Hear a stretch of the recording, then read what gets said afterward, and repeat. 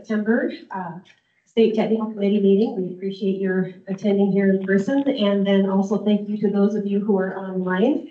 And, uh, we appreciate your joining us today. So, um, as today is September eleventh, I would like to first, uh, uh, open the meeting with the Pledge of Allegiance. And then we'll take a moment of silence for today. So if you please stand for the Pledge of Allegiance. I pledge allegiance to the flag of the United States of America, and to the republic for which it stands one nation, under God, indivisible, with liberty and justice for all. Now at this time, we'll just take a moment of silence for um, National Patriot Day and today is the National Day of Service and Remembrance. And please join me in the silence as we um, honor those who served and respect those who have uh, given the ultimate sacrifice and those are who are in service today. Thank you.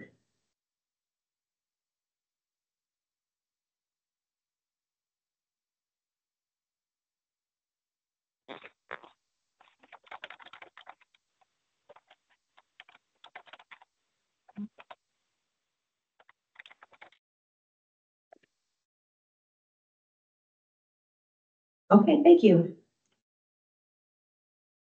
So today, um, just a couple reminders for the meeting is that, um, the, the announcements for the state technical committee are distributed via our farmers.gov. And there's a listserv in there called Gov Delivery. And with that, you can go to Gov Delivery, or excuse me, you can go to farmers.gov and you can scroll down and find the subscribe button. And in that subscribe button, there will be many options for topics to select from, from USDA. And specifically, you'll want to select the one that says State Technical Committee and also probably the one that says News Releases. And what's really cool about the farmers.gov uh, listserv is that you can actually go all the way down to uh, county specific zip codes and, and uh, choose announcements for specific counties as well. So that's, that's what we have available. We also have a mailing list. So we're, we're integrated, right? In the old days, we had a mailing list with the US Postal Service. Nowadays, we have electronics. So we're still doing a hybrid meeting and, and hybrid uh, notifications. So uh, on my staff is Randy Papka, and she is the secretary responsible for uh, communications with the state technical committee. So she can be contacted as well as I can to be um, to be put on the mailing list if you prefer to have a paper copy. Uh, or, or if something's wrong with email and, and the, no- the notifications are coming through. So, okay, with that, I'm gonna pass this to, uh, Tony Sinceri, our state conservationist. Thank you, Colette. Good morning, everyone. I'm Tony Sinceri. I'm the state conservationist for the Natural Resources Conservation Service here in South Dakota. Uh, We have had a tremendous year. And it's not just because of what NRCS is able to do on its own, but it's because of how much work we have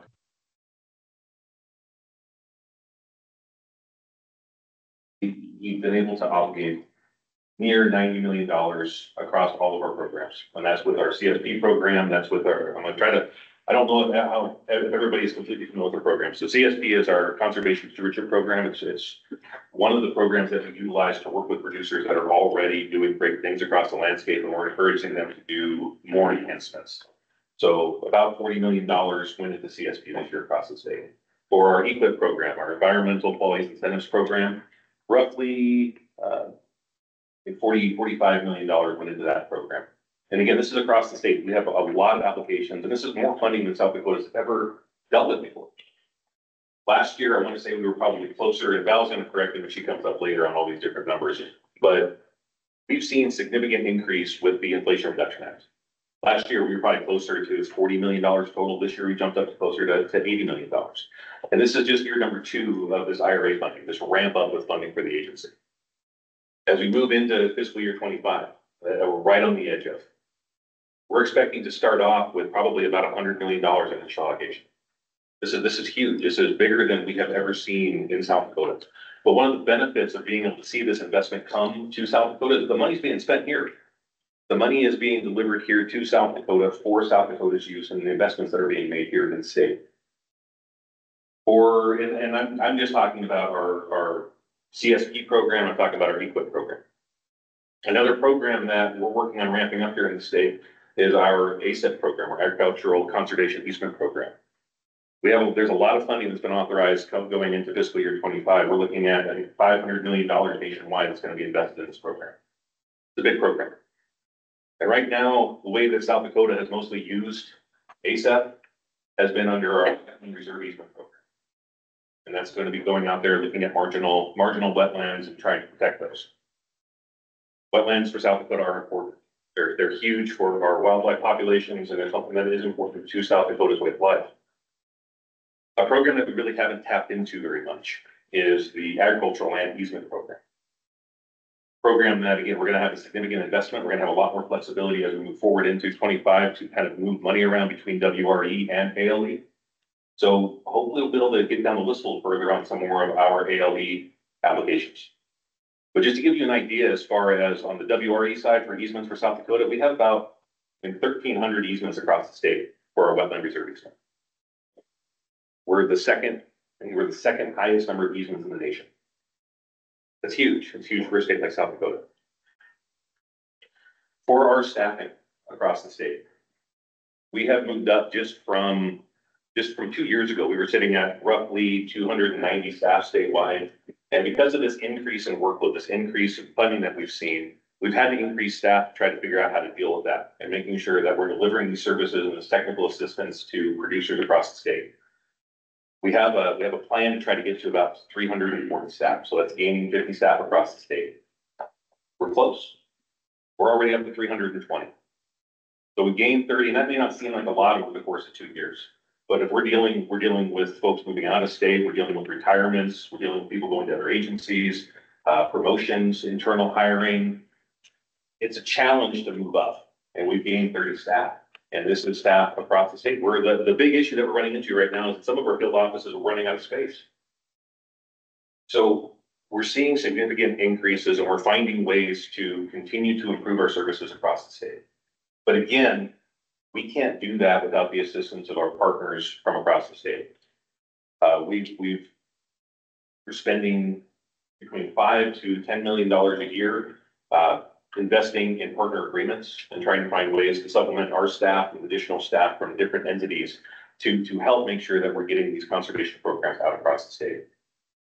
And what I, what I'm telling my staff as we continue to go in this direction is we're, we're actually getting it done.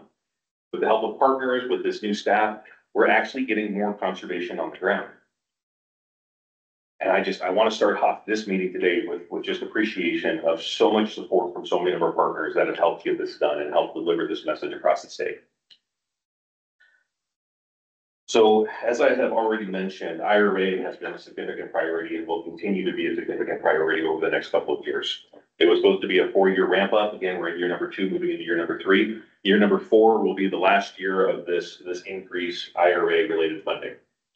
So now we're, we're in a position where we're, we're waiting. We're trying to see what does this next farm bill look like for the agency? How's that going to impact us moving forward? Because that's gonna really dictate what does this look like for 26, 27, 28. And we're trying to make sure that we're planning out that far to make, to just ensure that we're continuing to deliver this conservation mission to our partners across the state and to our, to our entities. Uh, South Dakota has been focusing on a strategic plan. We set up a strategic plan last year. Uh, and we went out and listened to our partners and listened to our staff, trying to figure out how are we going to continue moving this agency forward with this increase in funding and this, this expectation that we've been given by, by the president and by Congress to make sure that we're moving this forward. Uh, a lot of the items within our strategic plan were really focused internally at NRCS. We have a lot of new staff over the last five years. And I mentioned we only moved up like thirty staff as far as our overall numbers go, but that's hundred and fifty new staff that we have now over the last five years in South Dakota. Roughly half of my staff is new. It's huge, huge. We have staff, 320, 150 of them being new. We've had to make a significant investment in trying to train those staff. Because we have all these new people on board, they don't know everything. And we can't expect them to know everything day number one on the job. So our existing experienced staff have had to put a lot of investment in trying to train those new staff while dealing with more money than they've ever seen before. And they've been doing a phenomenal job across the state. I want to make sure I'm giving kudos to the field staff because they have been doing a great job making sure that we're getting our programs out the door. And not just getting programs out the door, but making sure that our, our farmers are getting technical assistance, because it's more than just money, it's also about that technical assistance component, making sure that the farmers are, are understanding why they're doing these things that we're encouraging them to do, and making that connection. And our staff are doing a really good job on it. We still have a ways to go as we work on getting that experience up, but they're, they're getting there. And as we continue down the road, it's just gonna get better. We're also looking at a couple of key positions. I, I mentioned a few state ago that we were looking at hiring a state economist. We have a state economist on board. We're looking at hiring a, uh, state salinity soil scientist. Uh, we're looking at building some of these positions, building additional positions to make sure that we're, we're meeting the needs of South Dakota. Another addition that we've made, and, and Colette's gonna have an opportunity to talk about this a little bit more too, is we're making investments right now in our, in our partnerships team. Uh, we have hired a couple new folks onto our public affairs team that's gonna be helping us with getting success stories out the door and then talking about this conservation that we're actually getting on the ground across the state. Because doing it is one thing, doing it's important, but communicating what we're actually accomplishing is something that's just as important. We need to make sure that, that folks across the state understand why we do this. Why are we doing this work? So we're gonna be focusing on trying to get this message out the door and making sure that more, and more farmers and producers across the state understand the importance of conservation. So one last thing before we dive into our meeting is I, I like to start these meetings off with, why do we even do these meetings? What is the purpose of this meeting? And this purpose is actually, it's rooted in our, uh, in CFR. NRCS has established a technical committee in each state to assist in making recommendations relating to the implementation and technical aspects of natural resource conservation activities and programs.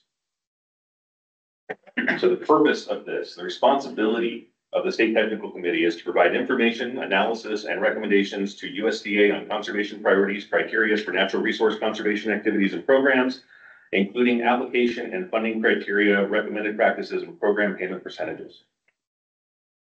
This is a committee that is set up to make recommendations to NRCS and to the state conservationists on what are we doing in the state. We can talk about just how, if you have recommendations for NRCS specifically, if you've been hearing things that NRCS is doing, that you think are great. If you think NRCS has room for improvement, this is the opportunity to come forward and let us know. Is there things that we need to change to make sure that we're addressing the needs of South Dakota? And it does not have to be just limited to your attendance in this room or virtual. If you have feedback for NRCS for this committee, we've actually placed a parking lot on the back wall there. And if you have some thoughts or you have some agenda items that you'd like to be put on the next agenda for state tech, we have some sticky notes, looks like on each one of these tables here. Write down the topic that you'd like to have discussed the next state tech meeting, and when you have an opportunity to stick it on that back wall. And we'll make sure that, that we're either gonna add it to the next agenda, or we'll have one of our specialists reach out to, to you to help you or help talk about that particular topic. We want to make sure that we're addressing the needs, the issues, the comments that you all have. That's what this meeting is for. One last thing regarding this meeting. This is kind of a special meeting because has, has anybody heard of, of FACA? The Federal Advisory Committees Act? Does anybody know what that is? Sure you know what this is. Oh, well, okay. So FACA is a, is a law that limits or controls federal agencies' ability to seek advice. And normally, the only group that's allowed to provide advice to a federal agency are other federal agencies.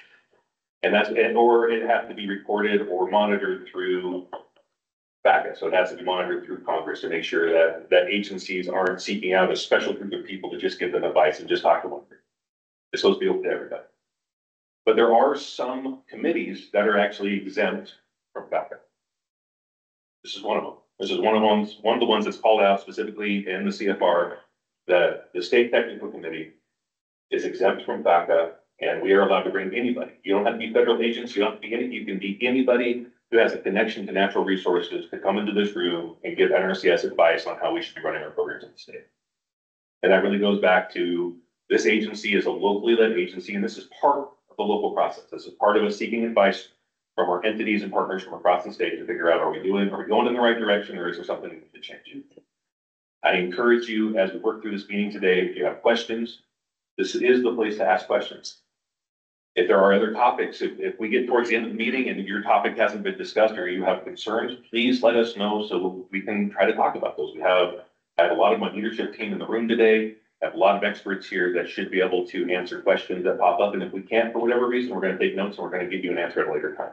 So please take the opportunity to let us know what you're thinking, what the South Dakota need. Let's try to find some ways to address it. So thank you all for being here. Thank you for the ones that are calling in online, but I really appreciate those of you who showed up here and, and here on also. I appreciate that you took the time to drive out here. So Colette, I'm gonna hand this back to you. Actually, sorry, Steve, I'm gonna give you an opportunity. So I want to make sure we acknowledge that Steve Dick, our State Executive Director with Farm Service Agency is here. I want to give him an opportunity to say a few words. Thank you, Tony. As Tony said, uh, my name is Steve Dick. I'm the State Executive Director for the South Dakota Farm Service Agency, and yes, I am a Coyote fan. Uh, very rare do I ever go to a meeting where I'm, uh, where there's a sea of red shirts, although I suspect this similar meeting in uh, Nebraska, it would be, I'd be in the right color for that, so. But, uh, just wanted to say, uh, thanks for the opportunity to be here. Thank you to the NRCS for our working partnership.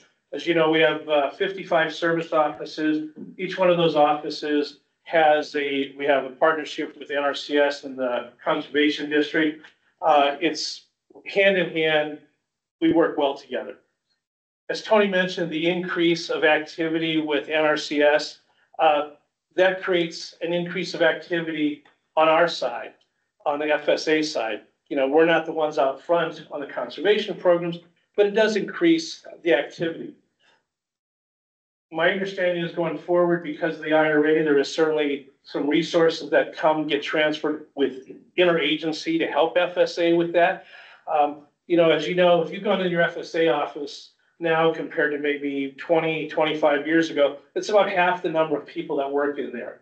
Statewide, we have about three hundred and fifty-two people, and one of the things, uh, like all agencies or like all people in rural America, rural South Dakota, you have a hard time attracting people to come work for the federal government. Now, it used to be, it was the place to work in the, the community that you were in. That's not the case anymore. Um, the private sector offers benefits, although not as good as probably what the USDA employees have. But one of the big things that's happened within FSA in the last three months is the program technicians, the people in the front office, the people that make our agency tick, they've been reclassified as program analysts now, and they, their pay grade has bumped up a little bit. So now we're actually competitive with NRCS. We uh, hopefully aren't going to lose as many people from our agency to NRCS. But, but that does happen. It's once in a while we get some of them to come over to our side. But it's been a major change on how USDA Farm Service Agency works with its staff. Uh, nationwide, there's about ten thousand FSA employees. Like I said, three hundred fifty here in South Dakota, spread across fifty-five service offices. So, you know, we look for, we, we love that working relationship we have with all the partners, particularly with NRCS. You're gonna hear a little bit later on from Owen Fagerhog, who is our Conservation Program Director, and Dawn Byer here, to get a little bit more into the weeds on CRP numbers. You know, the recent uh, grassland CRP program that was announced, we had roughly hundred fifty-eight thousand acres, I believe. We were in the number four in the state. You typically, we've been as high as one or two with that. So that says to me that producers are serious about conservation in South Dakota.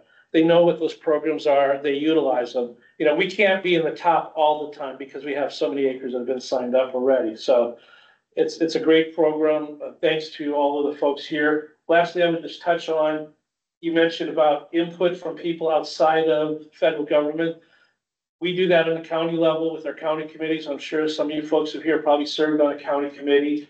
Uh, it truly is about as local as you can get, uh, when you've got producers sitting in that USDA service center once or twice a month, you know, looking at the policy and how it's gonna impact producers, their neighbors with that. So with that, I'll turn it back to Colette here. Thank you for the opportunity to be here today. Thank you. Okay, we will do, um, I would like to go around so we know who was in the room. Um, and would you like to do some opening remarks or would, shall we do introductions? I think we should maybe, we'll go ahead and do some introductions of the people around the room. So if you would please, uh, well, Tony's introduced himself. And then we'll, uh, just start over here and have you, uh, introduce yourself and your organization. We'll go around quickly and then we'll do some, uh, an update. Action here. I'm John Arinka, and I serve as the Market Development and Research Director for South Dakota Soybeans. Good morning, I'm Kent Blager, the Soil Health Specialist with the NRCS. Morning, uh, Bruce Toy, the Pioneer Conservation Program for Ducks Unlimited in South Dakota. Good morning, everyone. Troy Lack, I'm uh, South Dakota Agricultural Land Trust. Uh, good morning, everyone. I'm Melissa Niles from the South Dakota Specialty Producers Association. Uh, Ben Ring, Senator Duke's office. Owen Fagerhoff, Conservation Reserve Program Manager here for the Farm Service Agency. Uh, Dawn Byard, Conservation Program Specialist with the Farm Service Agency. Neil Foster, South Dakota Crop Service Association. Kyle Augustus, also with South Dakota Farm Improvement Association. Morning, Mark Norton, South Dakota Game Fish and Parks, I'm the hunting access and farm bill coordinator based out of here. Uh, Chris Dozark, Nonpoint Source Coordinator for the South Dakota Department of Ag and Natural Resources. David Flannery, I'm the Eastern Program Manager for the NRCS. Alden Graves, uh, Assistant State Conservationist for Programs here, out here with the NRCS. I'm Dee Covick, I'm the Assistant State Conservationist for Compliance with the NRCS, so we're wetland leaching. I am Jim Reedy, I'm the State Conservation Engineer with NRCS here in Huron. Morning, I'm Michelle Berg, the Assistant State Conservationist for Field Operations based out of Brookings, covering the eastern third of South Dakota. I'm Jessica Mahalski, State Resource Conservationist for South Dakota NRCS. Marcia Denicky, I'm the State Agronomist for ARS. Mark Larson with U S Fish and Wildlife Service. And Brian Thompson, hydro, excuse me, a hydrologist with the US Geological Survey in Huron. Good Morning, I'm Jewel Board and I work with South Central RCD. Shayla Larson, I'm the Public Affairs Manager with NRCS based out of Huron. Good morning, Daryl Duval, Outreach Coordinator here in Huron with NRCS.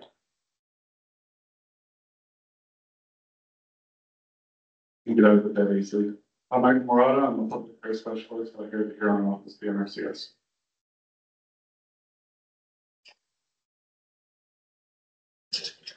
I'm Colette Kessler, the Assistant State Conservationist for Partnerships at the State Office in Huron.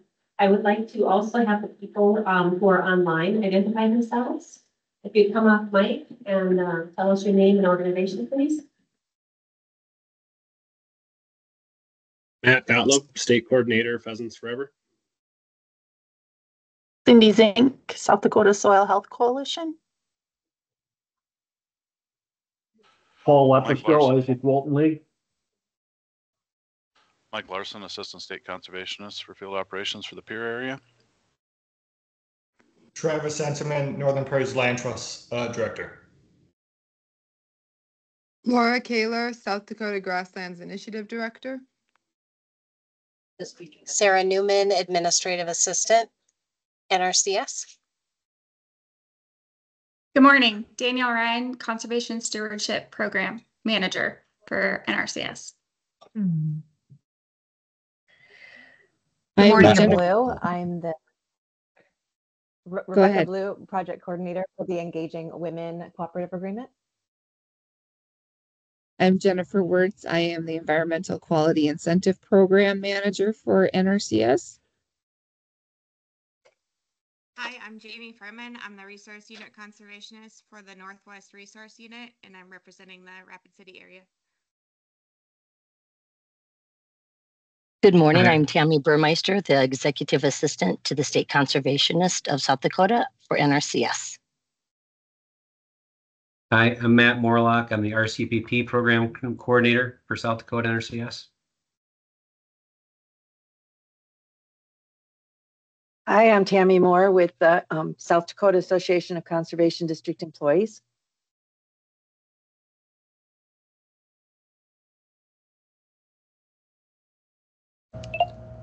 Tony Hagan with AgriVive Biologicals.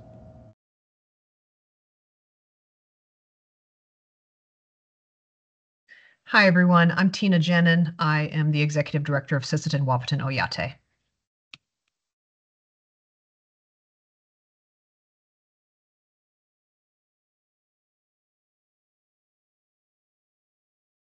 Okay, excellent. Uh, did we catch everyone online? Is there anyone left that have not identified themselves? So Thank Cassie you very much. Ox. Oh, sorry, Colette. Cassie Ox, biologist with Ducks Unlimited. Thank you. Welcome, Kathy. Okay, great. Well, thanks everyone for joining us here today. And now we have some, an, an important uh, update, right? So I'll pass the microphone here to our, our. Uh, as I mentioned, Ben Ready with Center Foods Office. I'm based in Sioux Falls. It's actually been a handful of years since I've been to this meeting. I used to do it quite regularly and then everything kind of shifted to online and that was actually quite convenient for our DC staff uh, to join online. Um, because they're the ones that are in the middle of it all in DC when it comes to ag policy or conservation policy or whatever else was going on in DC at the time. So um, but on that note, Ryan Donnelly, who been, well, we had Lynn Churchman and Ryan Donnelly. Uh, Ryan Donnelly, who a lot of you have met, and he'd been on these calls uh, the last couple of years. Uh, he has moved on from our office and we now have a new, uh, staff member that handles our ag and conservation policy. Uh, her name is Ashlyn Beninga. Uh, she was on our staff previously, left to go work on, uh, she was Ryan's assistant and then she went to go work for another Senate office. And now she's back on our staff. She's from just south of Harrisburg, uh, in the southeast part of the state. Um, I know some of you have already met her, A, in the past or B, recently, because she spent most of our August recess traveling across the state, talking to a number of the partners in the ag and conservation world, uh, throughout the state, and, uh, she joined us. I know she had a chance briefly, I think, to maybe say hi to Tony at Dakota Fest. Um, but, uh, she's been up, she's on our staff, also Kate Lombard, um, from our office handles these issues. She was back in the state as well. Uh, they had meetings in DC, uh, so they weren't able to join, so I said I could pop up to Huron at least for a little bit of this meeting before doing some other meetings up in the region. Uh, but just want to thank you for the opportunity to be here. Um, DC is back in session, the Senate's back in session. We spent the month of August, or most of the month of August and last week out of session. We like to call it August recess or the district work period, whatever sounds better to you, I guess. Uh, the senator had a chance to get across, uh, most of the state, not all of it, uh, but uh, a lot of different things, a lot of different opportunities to talk to folks across the state, specifically when it comes to what I would call farm bill conversation. Uh, the congressional delegation did a panel, uh, at Dakota Fest in Mitchell. And I know Tony was, was there and others probably in this room were at least part of that at least some point in time. Uh, he also did, uh, a listening session, uh, up in Aberdeen at the Brown County Fair. So those are the two specific events when it comes to ag conservation policy that he did during the August recess. As I mentioned, the Senate and the House are both back in. Uh, the House today is supposed to take up, uh, continuing resolution vote. At least that's what I last read this morning. Um, it actually would take, it's a six month CR, they would take it into March. I don't know if it's got the votes to pass when it comes to the House. I don't try to prognosticate what is and isn't going to happen. Um, whatever they do will then determine what type of Senate action, uh, will follow that. The House typically goes first when it comes to spending measures. The Reason I bring that up is because zero of the twelve spending bills have been passed by Congress. They're all expiring at the end of this month, so they have to do something. Um, on the House side, I can tell you, they've actually passed a lot of them individually, even within, within, through the whole House. The Senate has passed all of their, um, spending bills in committee, but not one of them have re- received a vote on the Senate floor. So what do we have to do? We have to do a continuing resolution again. Whether that's something that puts it out, they'll pass the election, out in the next, next year. Still up in the air, kind of depends on what they're able to get through on the House. It's kind of where things stand. I know that's important because when you're looking at trying to fund the agencies that some, a lot of folks in this room and online work for, uh, that's, you know, that's federal spending, that's the government funding programs. And so, well, look, there's, there's no reason why we have to shut down the government, so hopefully they can get a CR, you know, whether it's a three-week one, one past the election, one next year, we don't care, we just need to get something to continue operations. Um, on that note, September thirty, also a big day when it comes to the farm bill. It expires again. We're operating under an extension right now. It expires again September thirty. They're not passing the farm bill in the next three weeks, I can tell you that. The new one's not getting signed into law. Um, if it did, wow, that'd be crazy. Um, I just don't see that happening. Um, so the question is, how long did they kick it, uh, extend it out to? Um, my guess is they'll do a one-year extension again. Um, I would, the House has introduced the version, the Senate's introduced their version, the House Committee's actually passed their version of the, of the Farm Bill. I just don't see either that passing the full House and the full Senate, considering we haven't, you know, passed it anywhere in the, uh, Senate side of things. I think September thirty for sure. I don't know if something can be done after the, after the election waned up Congress.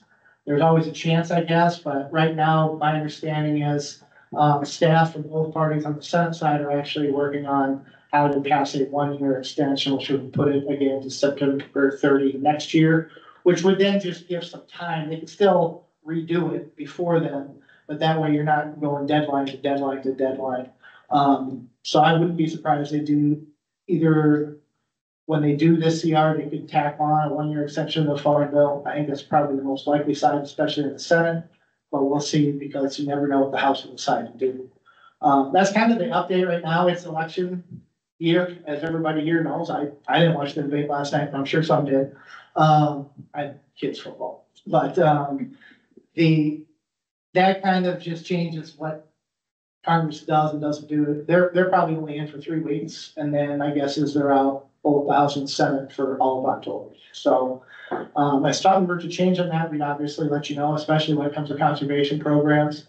Um, but that's really all I got. If you guys have any comments, questions, concerns, my boss likes to say accusations. More than happy to take them, um, if you, if you have any now or know how to get a hold of our office as well.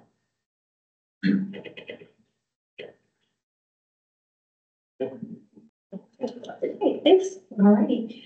Okay, so, um, I, I kind of, one of the things when I look at this meeting, after we think about it, when people, there's a lot of Ps in this, in this meeting. People, we've had some great updates, um, on that side. And then we'll have conservation practices, which will be an update from our ecological sciences section next.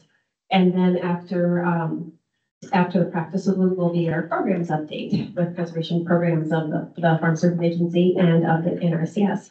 So with that, I welcome, um, following along on the agenda. It'll be the ecological science update with Jeffrey Galanowski, our state resource conservationist.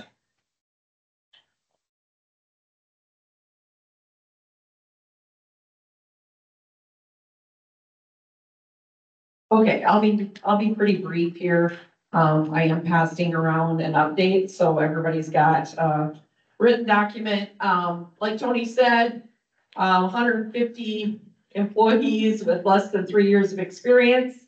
They need training. Um, so my staff, uh, largely spends their time, um, between, um, March or April and this time of year training staff, obviously, we need to be out in the field, uh, doing that for the majority of our training sessions. So you can see the list of training sessions that we held and that we held, hold pretty much every fiscal year. Um, we're also going to be, uh, obviously with the addition of Victor Tushin as our state economist. Uh, we're gonna be adding an economics training and we'll actually hold that in February. Um, doesn't necessarily need to be outside for that one, so um, try to spread, spread our training out a little bit. We'll be holding an economics of conservation planning course that I think is, is probably long overdue. We haven't had an economist in South Dakota for well over ten years, I believe, was when Doug Vick maybe left. I don't know for sure on the date, but, um, so we're pretty excited about that. Um, again, the, our trainings are open to our partners. So if you have staff that you would like to attend the training, um, just let me know and we'll get them on the list. Um, we, we want to make sure that we're getting our, our partners trained up as well.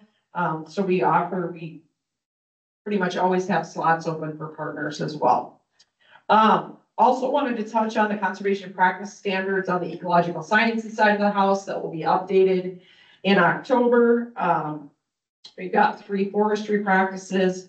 We are adopting, um, the feed management practice, um, and, and have the implementation requirements document pretty much ready to go there. Um, that practice, um, kind of came about as a push through one of our RCPP, um, projects, and then also maybe a, a new proposal, um, to adopt that practice. So thanks to Marcia Dennehy for, her work on getting that practice standard, um, ready to release. Um, we also have, we're gonna have a, a new high tunnel implementation guide. Obviously, high tunnels has been a very popular conservation practice in South Dakota now for several years, so we needed to update, um, uh, implementation guide for that. We've got a couple updates to some of our woodland technical notes. Uh, we have a new woodland technical note related to, um, food and cover values for wildlife. Um, and then we're updating our conservation tree and shrub group list, which again is probably pretty long overdue, um, without having a state forester, but now we've got a state forester, um, Laura Bosworth. So normally we, we used to maintain a list of people that wanted to look at those draft uh, standards and, um, other tech guides and, and we kind of don't, don't have, we haven't kept that list up, to be honest. Um, so if you want to look at any of these draft documents, um, please just shoot me an email, text, give me a phone call, whatever, and we'll get those to you if you want to take a look at them, um, before we finalize those in October. And then lastly, I just wanted to, um, we've had a few additions to my staff, so you've got a list of ecological sciences staff there at the end. Um, I'm getting teased a little bit about, um, kind of growing the, growing my staff a little bit, but it's, but it's been good, and I think we definitely with, uh, uh, the addition of an economist and a forester here within the last couple of years, uh, that's really helped, um, on the technical side of the house. So with that, if there's, are there any questions for me? All right, if not, I'll turn it back to Colette. Thank you, Jessica. Next on the agenda, we have Dee Conick, who is our Assistant State Conservationist for Compliance for NRC South Dakota. Start with Jay, I've been at NRCS, Jessica is at NRCS.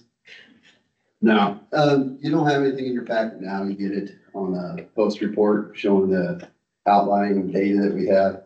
Um, overall compliance, I don't know if you've been here long enough, it used to be exciting, it's pretty boring right now.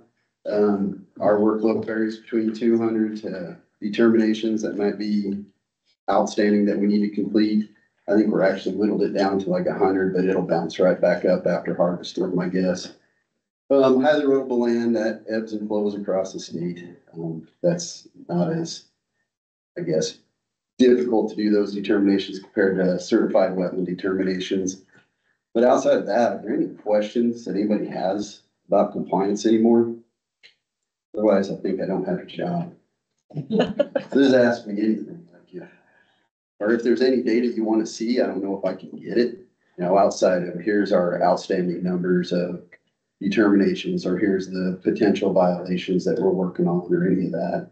Um, age and backlog is maybe four months at best. I mean, we get our outliers that require either a person wants us to work closer with them on their property or requires us to be on site, but for the most part, everything's in and out the door relatively quick.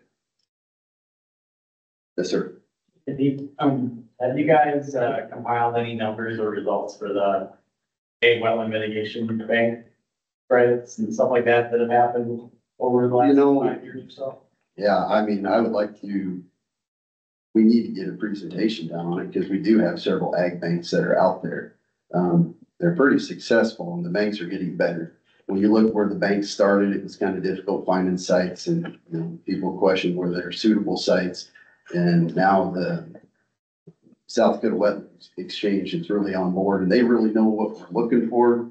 They're finding good stuff, but I think that'd be something that I can get a handout on, just the banks that we've had sold out and closed and the banks that we got going. But I, I will bring up, when I do send that out, you know, like the bank site plans, please comment. Um, I take note of that. I mean, I know some people think they need more of a response, you know, for what they're stating, but it does help me understand what people are wanting. Um, so don't hold back. If you got any concerns on any of those bank site plans. I think that is a good deal. I'd like to get an actual presentation done on that sometime by the Wetland Exchange on their successes, because it's pretty impressive where it's, where it's gone to now. Anything else? Maybe I can get a job on Maholski's NRCS. I'll hire you, Deke. Thanks. Thanks, Deke. It's really great to hear. Thank you for working in that department and and keeping things moving smoothly. Great. So, awesome. So another big category we have for NRCS on the technical side is um, under engineering. So with that, I'd welcome Jim Reedy, our state conservation engineer up here for uh, an update. Thank you. Thanks, Colette. Yeah, I'm sorry, everybody, I don't have a printout for your packet either, but I'll be sure I get a copy of this to Randy after the fact, so you have it. Um, a bit of work going on with the uh, state office engineering staff right now. We also are working on updates to several conservation practice standards. We have seven of them where the national version is newer than the current South Dakota version on the tech guide. And those are, I'll list them real quick, composting facility, structure removal, Pond sealing and lining for a geomembrane or geosynthetic clay liner, drainage water management, saline and sodic soil management, which is an engineering practice for some reason, but just the staff and ecological sciences use this a lot more than the engineers do. Uh, wetland creation and wetland enhancement are also being updated. And then we have an eighth standard for livestock shelter structure that we're just doing a simple removal of one of the tables. It does not have a newer national version. But we're just working on getting that, uh, updated to remove a table. We're kind of taking the route with these practice standards where we don't have to, or we don't want to include a lot of detail within the standard itself. We want the standards to remain fairly generic, so we have to update them every five years. It's a little easier during that five-year update process, and then we reference specific technical information outside the standard. So that's the goal with that livestock shelter structure. I actually don't have any real good insight and knowledge as far as the differences specifically right now between those new national and current state standards, but uh, if anyone has any questions on any of them, I can certainly have down the answers very quickly from my staff. Uh, update on emergency watershed protection, EWP program, uh, flood disaster assistance. We did submit what we call an electronic disaster report to national headquarters for the June flood event that hit southeast South Dakota. And we have a couple of active sponsor requests that came in through that. Um, South Dakota NRCS, we jumped the gun just a little bit with our submittal of our EDR or disaster request to headquarters. We actually submitted that because of timelines and specific windows of so many days after a disaster, so many days after sponsors start asking for help. And so we submitted that with the disaster date of July one, uh, fully expecting that we have a federal disaster declaration within a couple weeks after that. But the way things unfolded through July and August, and because the federal disaster wasn't declared until August fifteenth, so it's quite a ways out. A long time for that federal disaster to come true. We actually decided to request an extension from headquarters.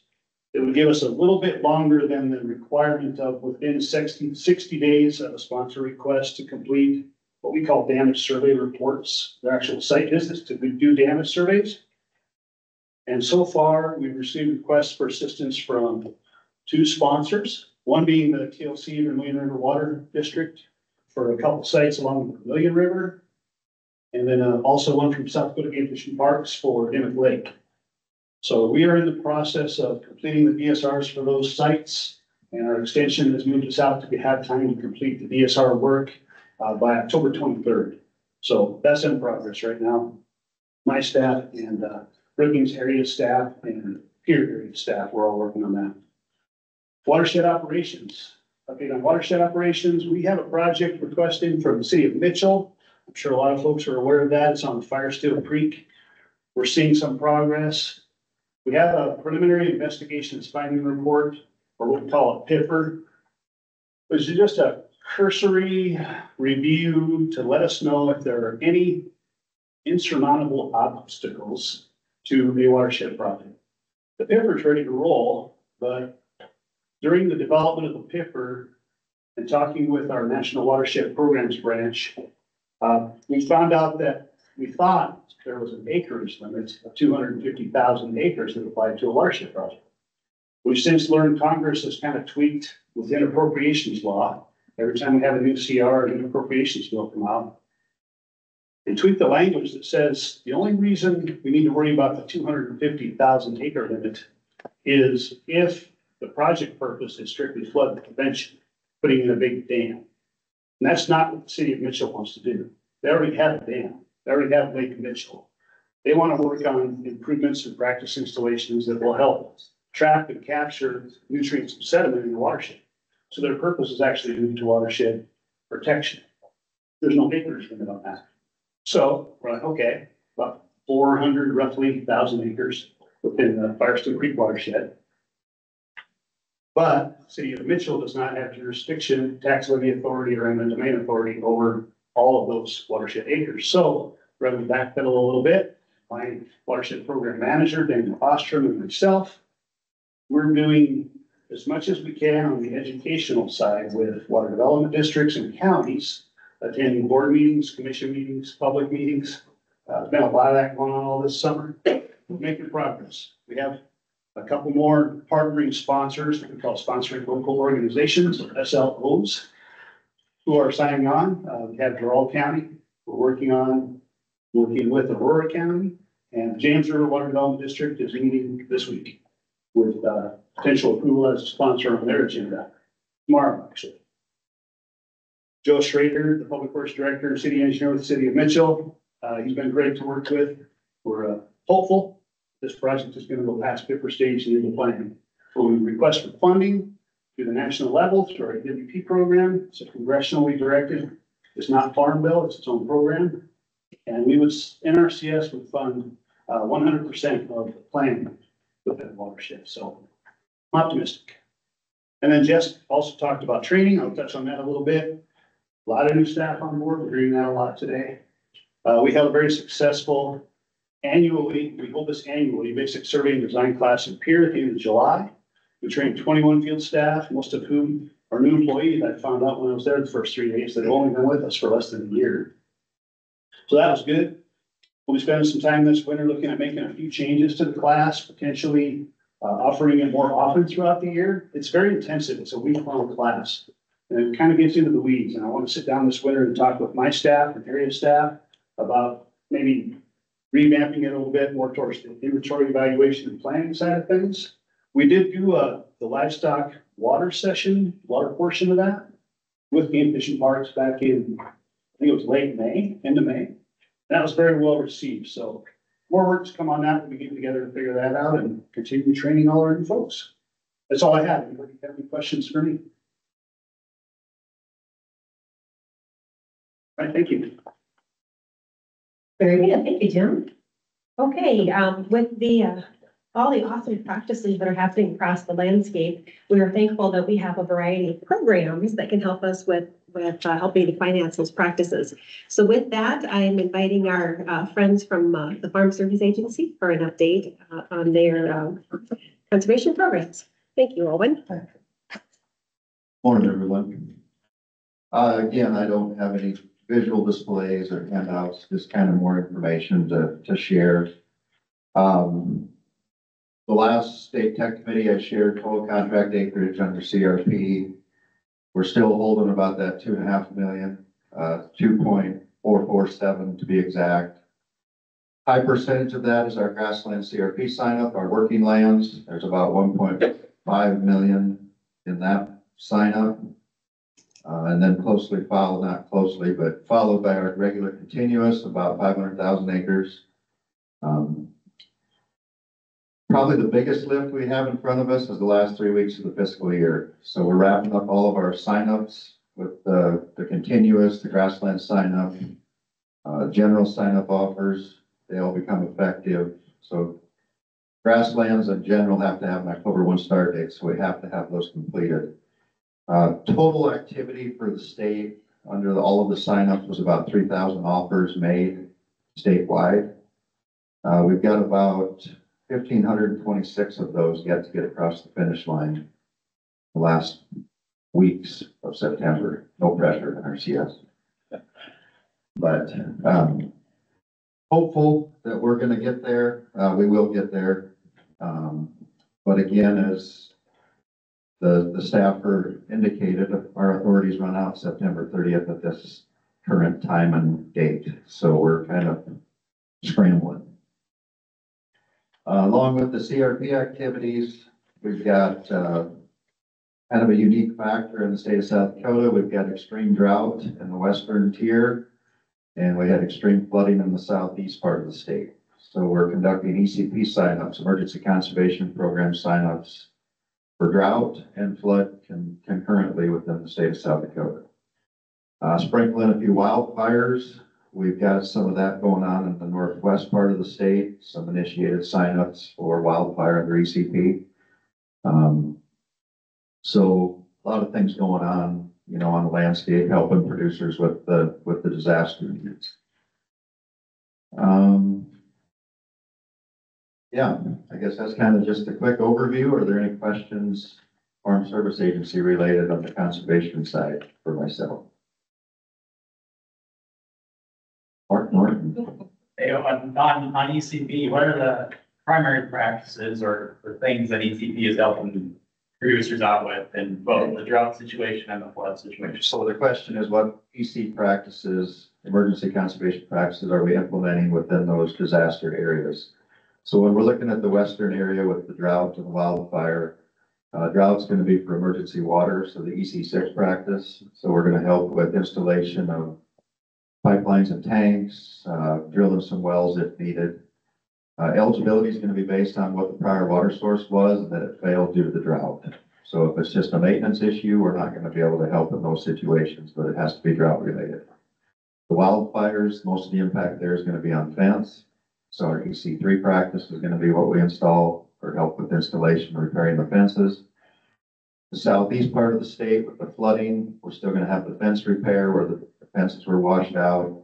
But then silt and sediment removal is probably the biggest one. Uh, we had a lot of the area along the Vermillion River. We had some breaches of the dike, uh, a lot of sand and silt deposited on the cropland adjacent to that, that area. Uh, so some big dollars, a lot of work for those participants, producers to get that cropland back into production, bring it back to a functioning environment, I guess. Um, that answer your question? All right. Anything else? Thank you. Very good, thanks, Ellen. Okay, um, and with that, we'll move over to the NRCS Conservation Programs of the Farm Bill, and we have Val Praise who will lead this section. Thank you. Good morning. They let me come back for a second meeting. So, um, I am Val DeFrays, Assistant for Programs with the NRCS here. I'm I'm trying to fill the shoes vacated by Jeff Vanderbilt, who was in the role for many years. So happy to be back. Uh, from a programs perspective, it's been a very successful year in South Dakota with programs, as Tony touched on before. Um, the field offices have worked really hard uh, to complete obligations. Our demand to obligate more dollars is very valid, but we've also had a larger demand for more diverse practices. We're supporting a lot larger customer base, so the field offices are really working hard and doing a good job um, with those, with those demands. Uh, just a few kind of figures relative to our programs. Um, even though we've obligated a lot more dollars this year than we did last year and the year before, we're still only able to fund about a third of our applications. So there's still a strong demand for applications within the state. Um, I pulled some numbers and we obligated double the amount of money this year than we did in twenty twenty-two. So our growth has been fast and we are able to take it on. You know, it's been a huge, a huge lift. The offices are doing well. Um, we couldn't do it without the help of our partners and everybody collaborating, coming together, uh, to help find that success. Uh, we need to stick together. We've got, you know, another year or two of, of growth coming, but a lot of opportunity for the state and, um, for not only conservation, but the, you know, a lot more landowners. So Uh, the next couple years are looking good. So we obligated, um, you know, like Tony said, around that ninety million mark for EQIP CSP and RCPP. So as we look towards twenty twenty-five, there's a few things we're gonna need to navigate. Uh, the first being, you know, the farm bill, what's gonna happen with the farm bill? Um, we've got some payment limitation issues that we run up against with some of our applicants, and it's a barrier to some of the program participation. So we'll see what happens with the farm bill here at the end of the month and hope for the best. We've got some rough timelines, uh, established for fiscal twenty-five. Our, uh, program batching date is November first. So on November first, we're gonna take all of the applications that we've received to that date and consider them for fiscal twenty-five, um, program application evaluations. Our anticipated ranking dates, uh, will start in January and probably go through the end of March. So we have a state or a, a subcommittee meeting next week, uh, within the agency to establish and finalize some of those timelines. So, um, in addition, we've got a national water quality initiative that we are kicking efforts off in this year. It's in the Dawson Creek area, so that's down, um, from Tripp, you go south and east, uh, to Scotland. And we've got some funds allocated to be used in that air, that area, uh, to avoid, control, and trap sediment, nutrients, and other impairments, uh, for the water quality efforts down there. So I am also joined by, uh, some program managers today. They are virtual, and then David Flannery is, is here with us today, and we're gonna roll into some very, some, um, program-specific reports. So I'm gonna start with, uh, EQIP.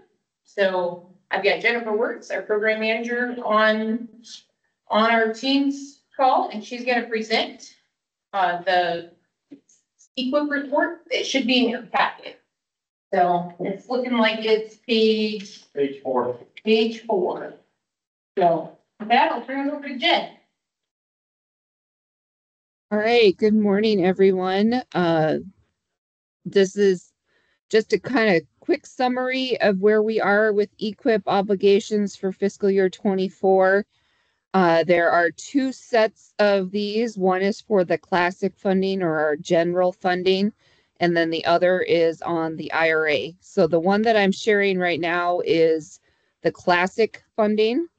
Um, from when we got these reports made up, we did um, this allocation returned number. We got the okay to go ahead and use that within the state, so that will be added into our final allocation uh, and final obligations amounts. Um, all but about three thousand dollars of that has been used since last week when this was made up. Um, number of applications isn't really changing. We had a couple of cost increases and some modifications that will use some of that funds. Uh, just like in past years, the funding breakdown goes by fund pool. Um, this page here has the nationally funded initiatives and the state-driven initiative fund pools. Uh, and it, then it goes into the breakdown by the tribal funds and the area offices, area resource units. Um, and you can see, you know, what, what each of them had for allocation and, and number of total funded applications there. So the summary here, um, we're gonna end up with about two hundred and thirty-seven contracts with the classic funds. And we're right at ninety-nine, almost hundred percent obligation for the classic funds that we had in the state this year, which is just slightly higher than classic funding that we had in fiscal year twenty-three. Um, what all said and done. Uh, the next set of handouts is the IRA funding handouts. Um, the, this does break into the CISs, and I forgot to go to that page on the classic. The classic had some of the CIS projects were funded with classic funds.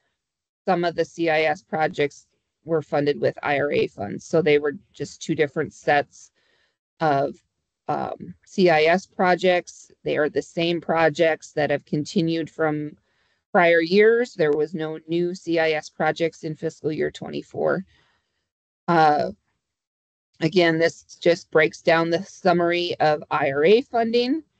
Uh, and again, we are right on par to be at that ninety-nine to hundred percent of obligation when it's all said and done. We've got just a few applications left to go um, to get to obligation, and we're gonna be just over um, forty-four million dollars in EQIP obligations this year, which is is wonderful.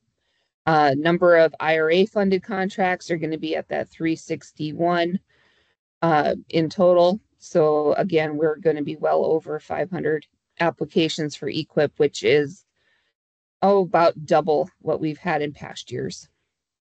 So, like Val had said, we have those those batching dates coming up. Um, payment schedules are in the works. We should have our payment schedules in October. Um, they should be posted. And is there any other questions for EQIP? All in all, this was an excellent year. Our staff did wonderful. Our partners did wonderful in getting applications across the finish line um, and just getting through the, the number of applications that we did have. I got a question for you, Jennifer. Yes. Is there, uh, is there any difference in the practices that are being funded with the IRA pot of money versus the classic pot of money? Are we seeing that there's something that IRA? is- Yes, um, classic there, there is, and bear with me here, I am going to open an email real quick. Um.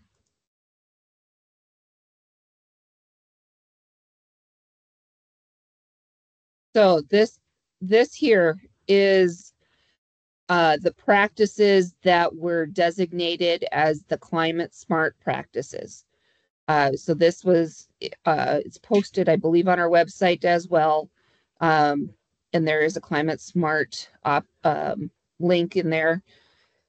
This has all of the practices that are deemed climate smart. These are the practices that uh, for both EQIP and CSP would be the climate smart or the IRA focused practices. So these would have to be our primary practices that we're funding in IRA. Uh, it just goes through, I'll just scroll through slowly through this. Uh, these would be our primary. We can also do practices to support these primary practices. So when we get down to prescribed grazing, um, there's a lot of pipeline and cross fencing um, tanks going in to support the prescribed grazing. So that that does um,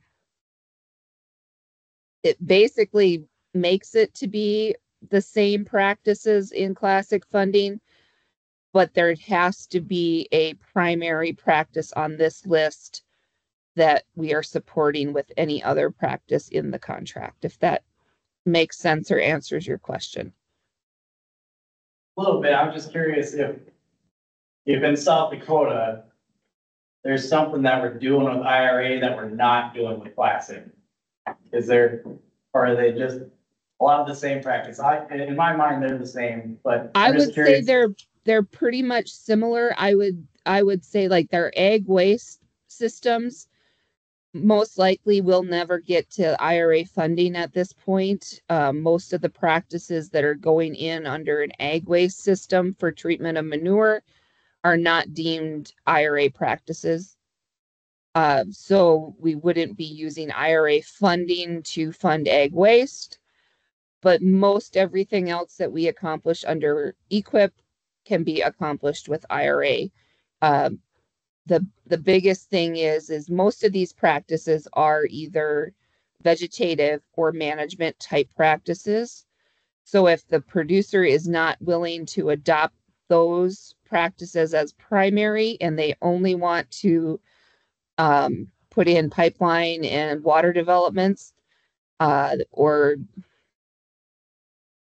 I'm drawing a blank on anything else that may not, may go in right now that wouldn't be able to be linked to a management practice and funded through that. Uh, we could not use IRA funding if that was the case. So we have, the producers have to be implementing one of these practices on this climate smart list. Which we do have a few where we fund in classic that are not, they're either not able to implement like nutrient management or prescribed grazing. Um, or they are already implementing one of those practices through maybe another funded contract. Uh, and we can't pay again on that practice through an IRA funded contract. So then it would not be eligible for IRA funding. Thank you. Yep. Any other questions for Jen? Uh, this is the list for twenty twenty-four. They just released the list for twenty twenty-five. There, I don't believe any of these practices have been removed from the twenty-four list in twenty-five, but they did add a couple additional practices, and Jessica might be able to speak to that a little bit more if there's more questions on on IRA eligible practices. All right. Thank you, Jen. You're very welcome.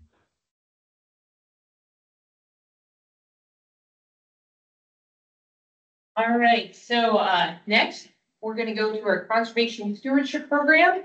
Danielle Ryan is going to provide that update and year-end summary. Danielle uh, is in week three of her new role. So we just hired Danielle as our conservation stewardship program manager. She's got uh, extensive experience with planning and working with producers in the field. So we're happy to have her join the programs team. I'll turn it over to you, Danielle.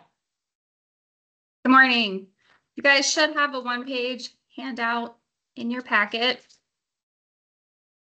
So we're just wrapping up our 2024 obligations. Uh, we just got a couple left, thankfully, uh, to get done.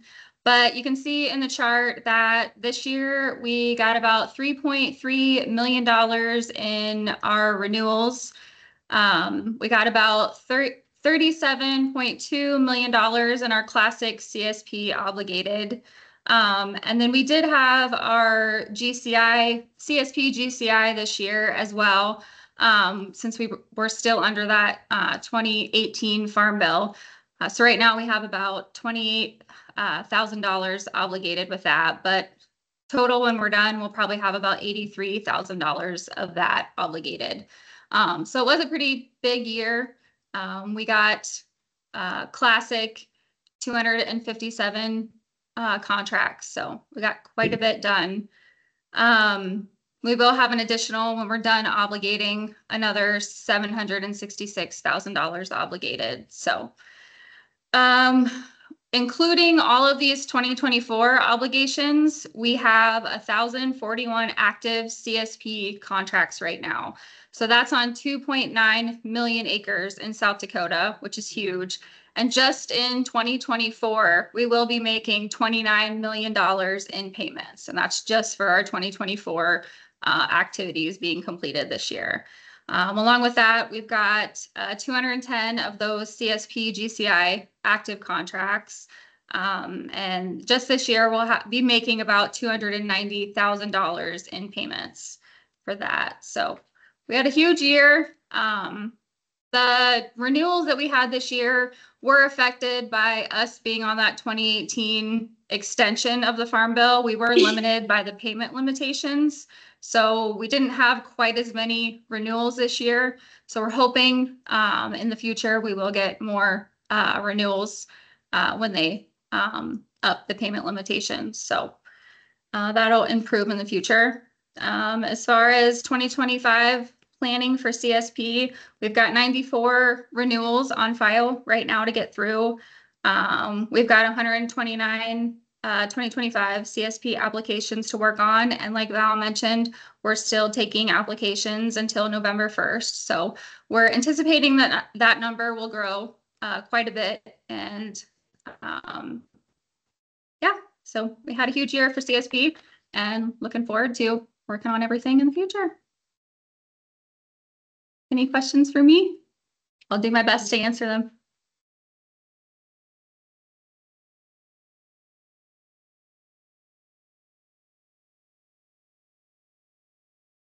All right, thank you, Danielle. All right, we're gonna now go to Matt Morlock for an RCPP update. This is going to be a slight change in your packet or your handouts. The next handout in your packet is this ACEP news release. We're gonna swing back to that after we do an RCPP update. All right, good morning, everybody. Uh, sorry I couldn't be there in person, um, but we'll do this virtually instead, and I will kind of give you an overview of our proposals that came in. Um, just a quick rundown, and then we'll get to the meat and potatoes of it and have uh, Bruce Toy come up and talk about their ongoing project. Um, that's the really important thing is seeing how these are being implemented on the ground. So um, I'll quickly, let's see if I can get my computer to work quickly run through this current NFO that we just had closed uh, for fiscal year 24.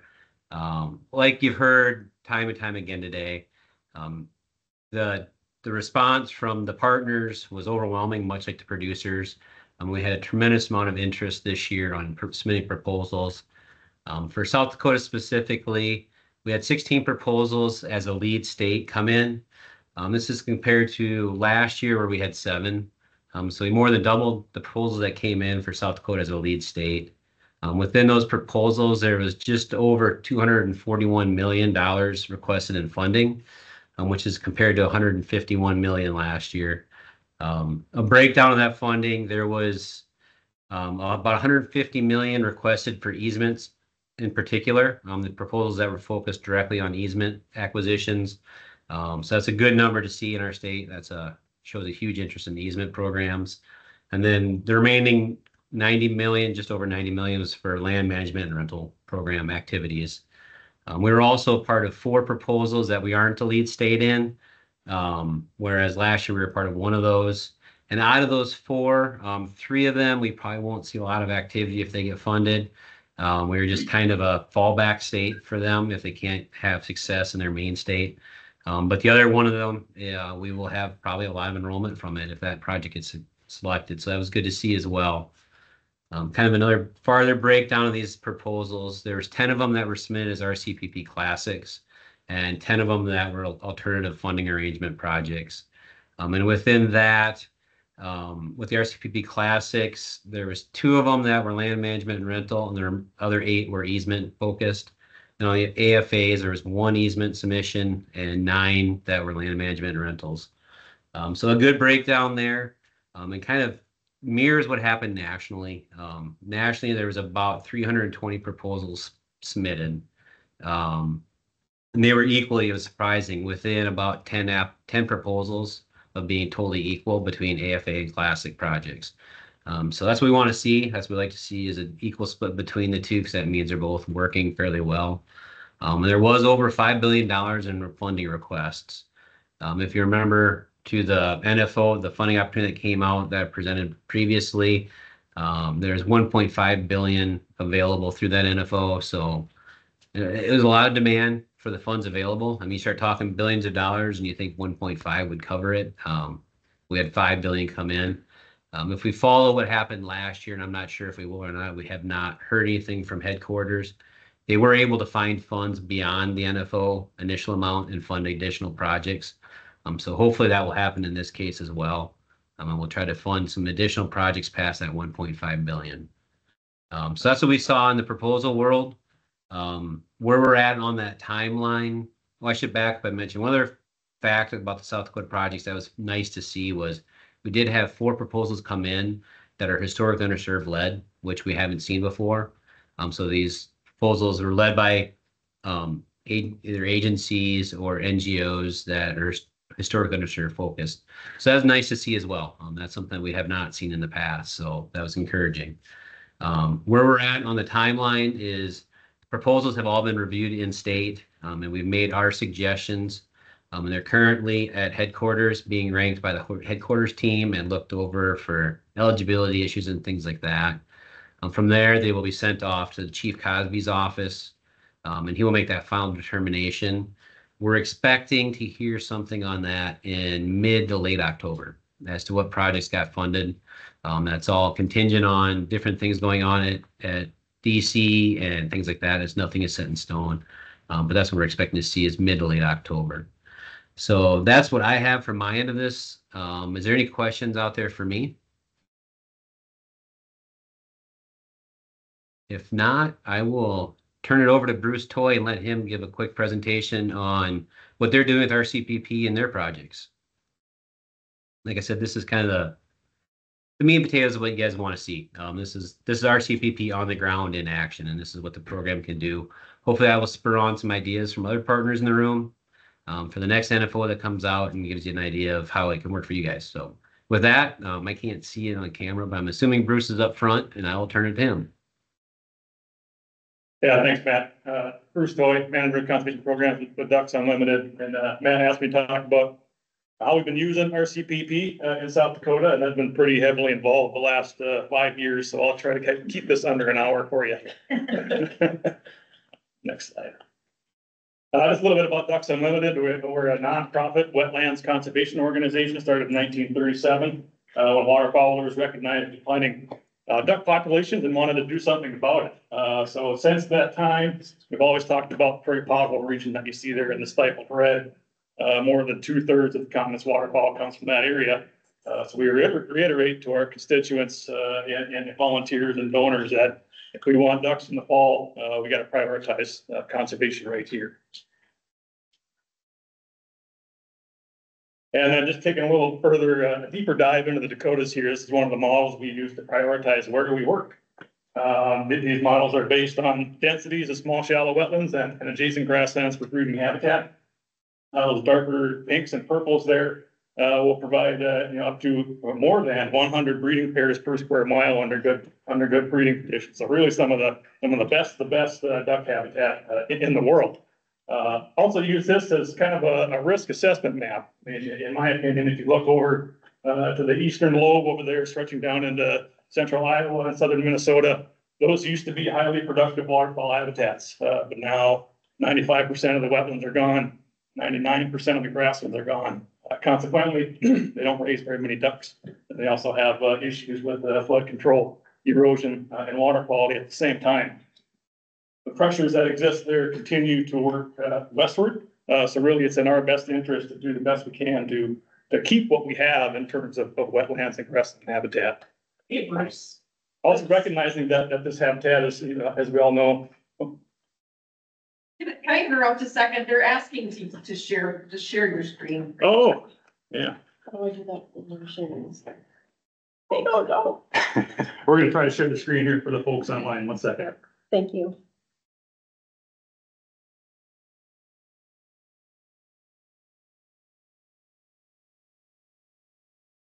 Sharing. Okay, so now it's good. Okay. Can you all see that? We get a hand- a hands up from somebody? Yeah, we can see it, thank you. Perfect, thank you. Yeah, that's, as I was saying, the eastern half of South Dakota, uh, most of that is, is owned, uh, by, by private landowners and utilized agriculture, agricultural production. Uh, and we still have, uh, these millions of small shallow wetland and grasslands there. Uh, we need to be working with those producers, uh, finding ways, uh, to, to maintain agricultural productivity and, and keep those habitats intact at the same time. If we're gonna achieve our vision of wetlands sufficient to fill the skies with waterfowl today, tomorrow, uh, and forever. And really, one of the best ways to do that, a couple more clicks on this one to get our text up there. Uh, um, and really working with the livestock producers, uh, is really the best, the best way we can do that. Uh, ducks and cows need the same thing, grasslands and, and, and water for, uh, for, for, for both critters. Uh, so we've been working with ranchers uh, considerably over the past uh, ten years with our working lands model of conservation. So our staff are providing, uh, financial and technical assistance to these ranchers. Uh, we're leveraging our philanthropic dollars that are raised across the country, uh, with, with public funding sources like the North American Wetlands Conservation Act. And now with RCPP, which has a, a lot of new opportunities to leverage our dollars. So starting about, eight, eight years ago, with the, after the twenty fourteen Farm Bill, when RCPP first came out, we kind of dipped our toes in this and had our first project, which was the James River Watershed on RCPP. Uh, and back then, this was just the traditional route or what they now refer to as the classic version of RCPP.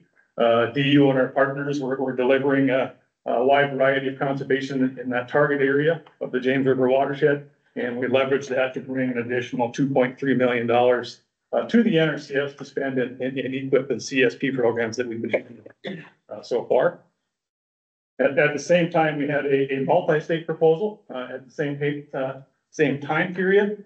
Uh, it included the Dakotas, Montana, and, and Minnesota, which eventually dropped out. But again, leveraging our resources to, to bring more dollars to these states for practices that we care about and priorities that were important to us as well. So this, this worked out really great for us to leverage our resources.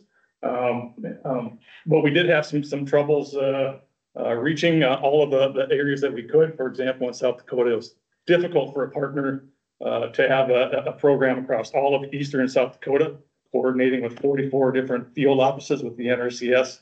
And we just wanted to be a little bit more involved in that, in that delivery process. So in twenty twenty, uh, when the notice of funding opportunity came out, they had the new alternative funding arrangement strategy, uh, which we were pretty excited about, and we put in a proposal there. Uh, for the three states, uh, South Dakota has the lead, North Dakota and Montana. Uh, back then, the cap was, uh, ten million dollars, and we were awarded eight point seven million at that fall of twenty twenty. Um, that's, that's when the work started. Uh, there were no instruction manuals that came out with, with this new, uh, model of, RCPP funding, so it took us, uh, about a year, to kind of develop our first, uh, programmatic partnership agreement. Uh, and then about another eight months or so before we got our supplemental agreements to actually obligate dollars to figure out how do, how do we make this work? Uh, how do, how do we, uh, you know, provide flexibilities for the partners, but also make sure that NRCS is able to, uh, do all of the, all of the due diligence that's required for, for farm bill spending. We had a first sign up in August of twenty twenty-two. Uh, we had, uh, fourteen applications across eastern South Dakota and we selected five. Uh, you know, ideally, we kind of wanted to have a, uh, um, kind of an act now philosophy and just take applications as, as folks walk in. Uh, but recognizing this was a very new system, wanted to take a very cautious approach into how many applications we funded and didn't want to get overwhelmed and, and over, overspend our, our, uh, uh, staffing, uh, abilities. But we just funded five that, that first round. And then the second sign up about a year later, seventeen applications and selected eleven. And then we just had another sign up this past spring, uh, five applications and five, five were funded. That shows the geography there where we were focusing on, on the south portion of this project. Really what we're trying to do, um, was, was try to work with producers that were transitioning from conventional to more regenerative agricultural systems. Uh, find producers that were not very familiar with, uh, cover crops, crop diversity and, and, and were limited by abilities to get livestock uh, grazing infrastructure. You know, we all know that costs for, for fence and water are expensive, uh, both on grassland and, and cropland systems. Uh, we also had a new opportunity that was available through RCPP to offer a, uh, we call it a grass establishment deferral payment. Uh, so not only letting, paying a producer to, to plant grass on, on marginal cropland acres, but giving them a payment for the first three years.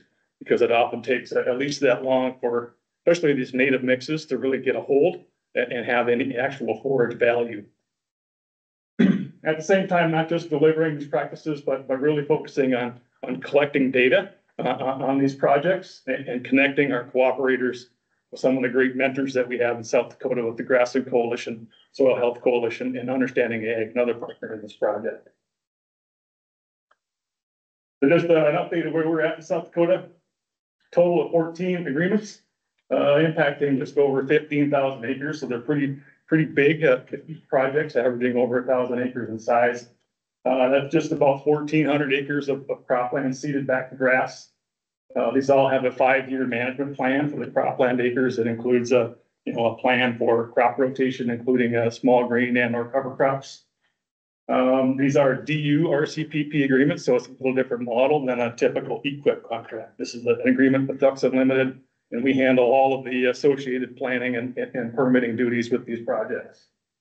Uh, we've obligated three point three million dollars in these South Dakota projects, and again, these agreements focus on soil data analyses and connecting these producers to educational opportunities. And our agreements typically have a, a five to ten year commitment to keep their associated habitats intact, just to make sure we're getting, you know, the right, the right bang for a buck. We want to make sure that we're putting a lot of work to plant this land back to grass, stays there for a, for a, a, recent, uh, a decent duration. This just kind of shows where, where those projects uh, are, are occurring, uh, eastern South Dakota. If you think back to that priority map, we are, we are working in the areas that we want to be working with and have good, uh, impact on, on waterfowl populations. And let's run, kind of run through a few examples of, of these projects. This one here is in, uh, is in Hand County. Uh, those are full sections there to give you a scale of the landscape there. The, the blue polygons are areas that were cropland and are being seeded back to grass. And you'll notice all the, all the white areas in those cropland, uh, very, very marginal and, and, and- saline soils. Uh, producers tired of putting in a lot of inputs and not getting a lot of outputs on these acres and would just rather have that, have that back in grass. Uh, and this, this, this gentleman has flat out said that if, if he didn't have that grass deferral payment, he would not be able to make this work. You can't cash flow not have income on four hundred and thirty acres for three years. Uh, so that was, uh, that really impacted his decision making, which is a, a, a big thing, I think, in in our opinion. At the same time, those, those yellow hashed areas, that's, that's pretty good cropland for him, so we're gonna, so we're gonna keep that in cropland and actually help them improve soil health by integrating cover crops and putting in some grazing infrastructure as well. Another example, this is just a half section. Uh, it was cropland in the north half. Again, you see a lot of white areas that you see up and down, uh, you know, the eastern tier of South Dakota. We're seeding that back in the grass, helping them put in, uh, the red lines or fence and putting in some water infrastructure so he can implement a nice rotational grazing system both on the newly seeded acres and his existing adjacent native pasture. Another one here, uh, approximately two hundred acres of native range. Gonna split that in two so we can rotate, rotate pastures and utilize the adjacent cropland acres uh, by integrating, uh, multiple applications of small grains and cover crops over a five-year period and getting livestock, livestock on those acres too. And again, putting, putting fence around that and getting water to both sites. And then one of our newer sites up in Day County, this was a cover crop only project, but uh, this producer was interested in, in uh, integrating multiple applications of cover crops uh, within the same year, uh, some of his acres. So using a, at first a, a cool season dominant uh, cover crop mix and then a warm season dominant cover crop wet mix, and then using some temporary grazing infrastructure. So he's getting a cattle treatment on these acres multiple times per year, which worked out well in a year when we had a lot of moisture, like we did to get a lot of growth. So he's getting a lot of income on these acres and really boosting his soil health at the same time. Now, a little update from North Dakota. They, they took a, a, they waited a little bit, kind of let, uh, South Dakota figure out the process. They were about a year behind us uh, in terms of delivery. Uh, looking at about seven agreements and about three thousand acres of impact, but, uh, really leaning heavy on that grass restoration component. They're finding it very successful, uh, in North Dakota as well for, for large grass restoration projects. And this is just one of their examples too, uh, almost four hundred acres of, of cropland being seeded back to grass. All kinds of fence needed to implement a rotational grazing system and, and, and water distri- distribution to make that happen. And they just announced another sign up here in North Dakota. Uh, I think that with this last sign up, is so essentially obligate all of the remaining dollars in this RCPP award.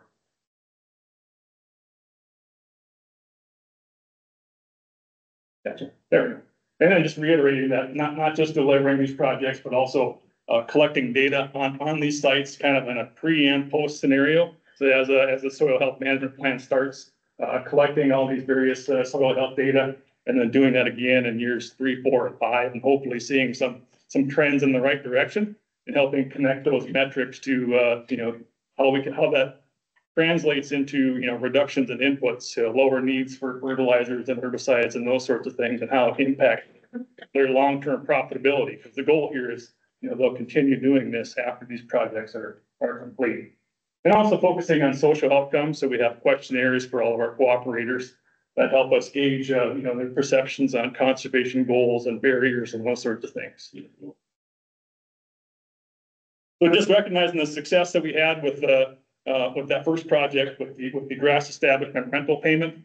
Uh, we, we, uh, wanted to really scale that up in South Dakota, so last fall, we, we put in, we got a bunch of partners together and put in for the maximum award of twenty-five million dollars, uh, just for South Dakota, so that is, uh, currently open for business. I have a lot of, uh, brochures over here if anybody is interested, but, but really, uh, any interested producer can work with any of those partners on there, to develop a grass restoration plan and use that, use that, uh, deferral payment, uh, to help them bridge that, that loss of income gap.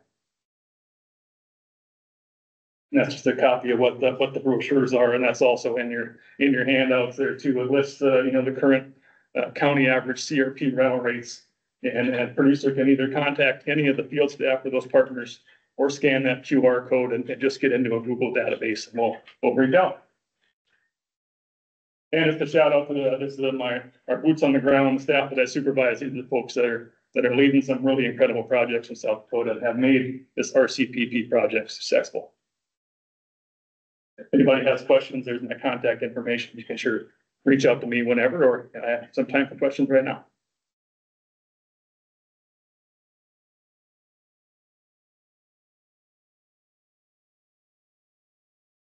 Thank you. Excellent.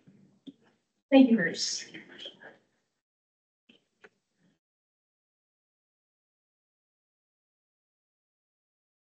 Um, so RCPP, a lot of those numbers that we had in our packet uh, presented earlier today don't include the partnership work that's being done through RCPP. So there's millions of dollars being offered to producers across the state, uh, through RCPP and our partner, um, opportunities. So thank you, Bruce. Appreciate that.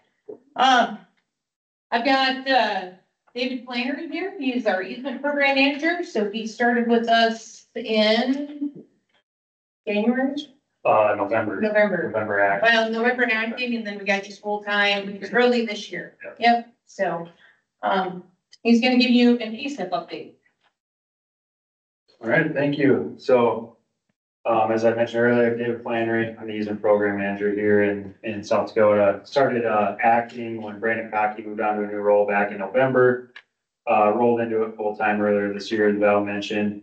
So, uh, what I'm gonna do here is just kind of give a, a general rundown like the other programs did on, uh, what our, um, applications, obligations, everything look like, um, as well as a proposed update to our WRE screening for FY twenty-five, as well as, uh, go through the recent announcement for our two batching dates for FY twenty-five ACEP. I believe this handout is in the packet. If not, I can get that, uh, get that out to everyone afterwards. Um, so we'll start with our FY twenty-four WRE.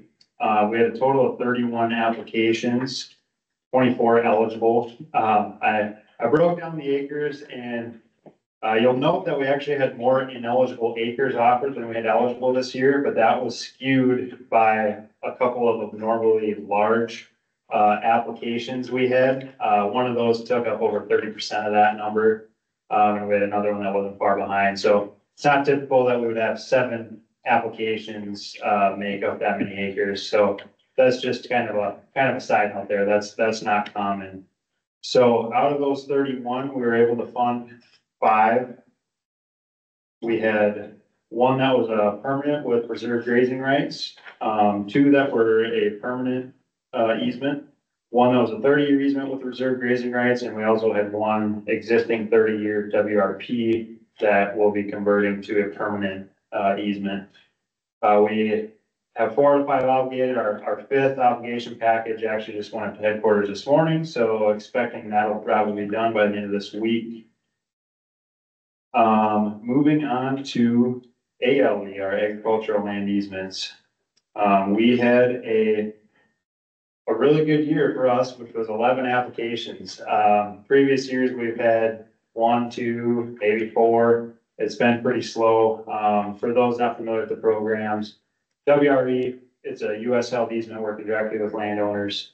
Um, ALE is a partnership with a third-party entity such as South Dakota Ag Land Trust or various other, um, um, eligible entities where we work to help provide the funding, minimum deed terms, but then that easement will be held in perpetuity by the eligible third-party entity. So those take a little bit more coordination, um, different funding sources, et cetera. So that's why those numbers are a little bit different. So for this year, out of those, we were able to fund two through our IRA funding. Um, that was big for us, uh, over two point eight million dollars, uh, for about sixty-seven hundred acres. Uh, typically, our, our state farm bill funded allocations in recent years have only been around six hundred thousand dollars. So to be able to, uh, fund a significant, uh, higher dollar amount through, through those funds was, was big. Um, and then for our, our state allocation, we we're able to fund two, um, for a total of twelve hundred ninety-seven acres. Uh, and that's about eight hundred thirty thousand dollars. We had our first successful, uh, request to headquarters for additional funds for ALE. Uh, potentially the first ever, but the first in recent years anyway. So that was, that was very nice. Um, so those are all, you know, not closed at this point. Uh, we're working through obligations. Um, and, and once obligated, that'd be a total of over eight thousand acres and over three point seven million dollars. So that, that's one thing, uh, with this Inflation Reduction Act funding. That has really given ALE in South Dakota a lot of life. Um, we only have one closed in South Dakota at this point in time. And since IRA has begun, we, we've obligated two in FY twenty-three. Uh, we're approaching closing on one. The other won't be far behind, but if we're able to get all of these closed, um, we'll go from one to seven all of a sudden in, in a span of two years roughly, which, I mean, again, is huge. It's a lot of acres as well, um, for, for each, uh, individual agreement compared to WRE, because we're generally working out west, uh, with larger tracts of land. So any questions on that aspect of it as far as what we've been able to fund and, and what those, uh, dollar amounts are looking like? Hey, David, uh, not a question, but just a word of thanks. I mean, it means a lot to hear Tony step up at the beginning of the meeting and say, hey, we're committed to more ALE in the state. Um, it's, it's a testament to, you know, what you've got going for us.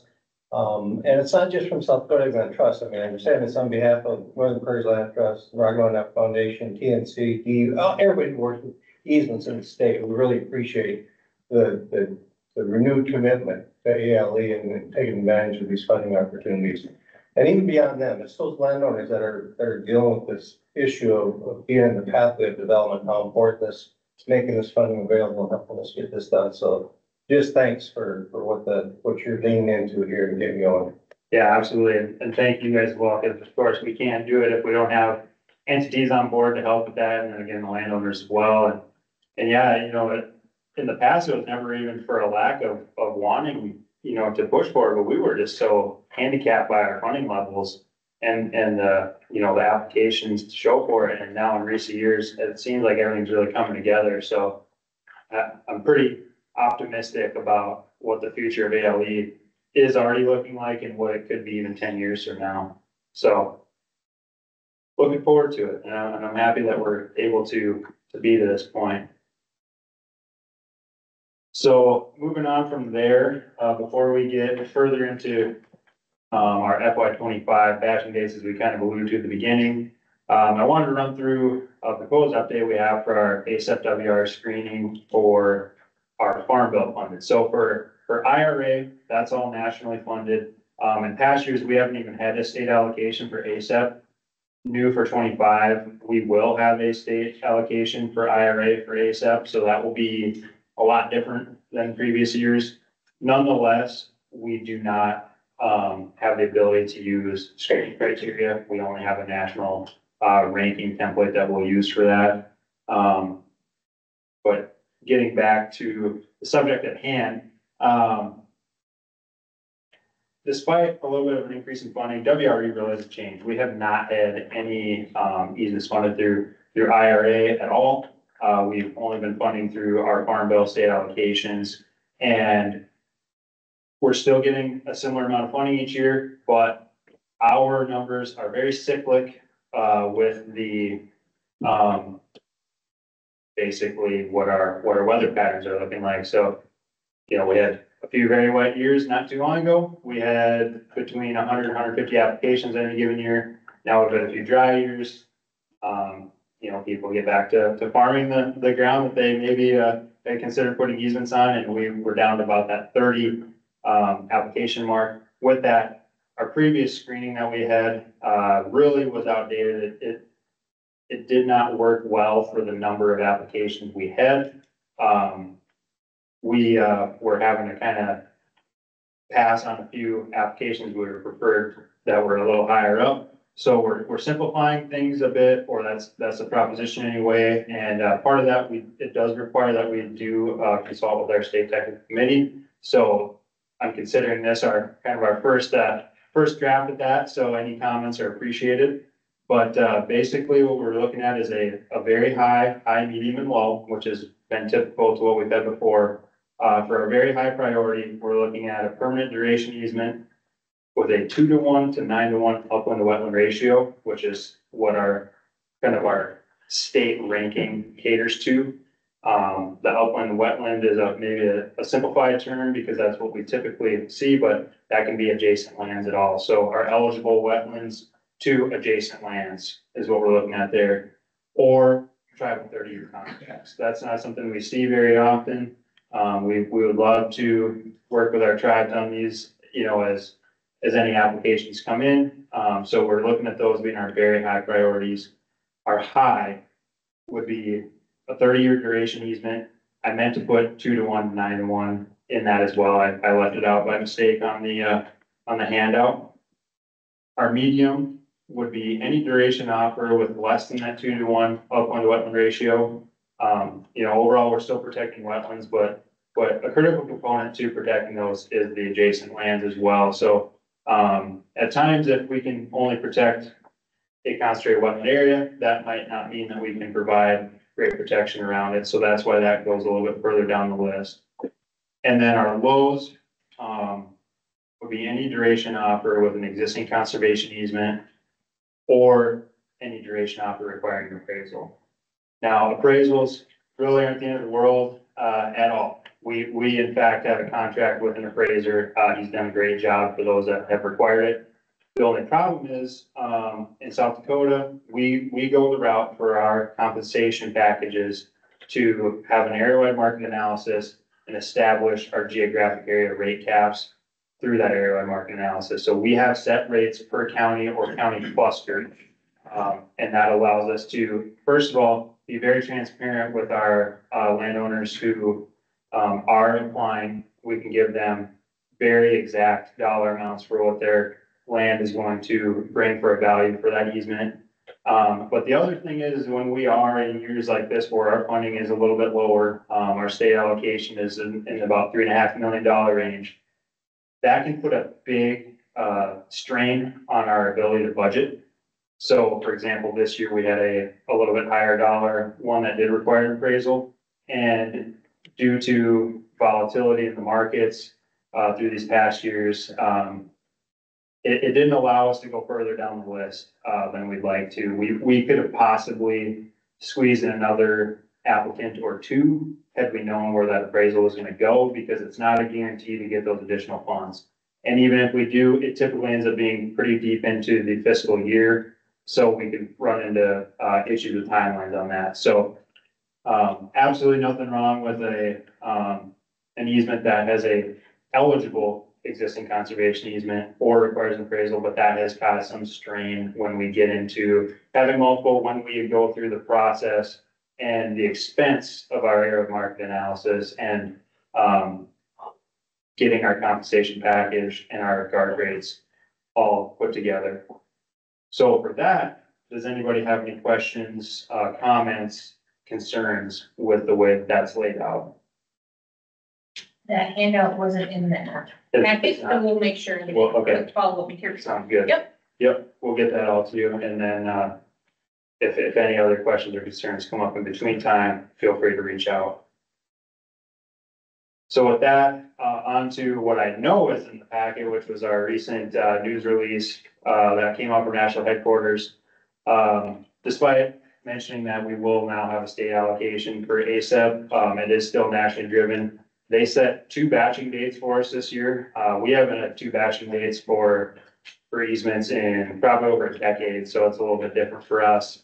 Um, so October fourth, we're, we're already weeks away from our first batching date, uh, for fiscal year twenty-five for ACEP. Um, that will be IRA only for the first go around. And we've learned recently, as Tony mentioned at the beginning of the meeting, we will have flexibility in our IRA allocation on whether that's going to ALE, WRE, combination thereof. We do not have, um, we don't have that split out for us. We get to make those decisions, which is a departure from what we've seen in the past. Um, for the December twentieth date, that's what we're anticipating, uh, having our state level, um, batching date, uh, be incorporated with that.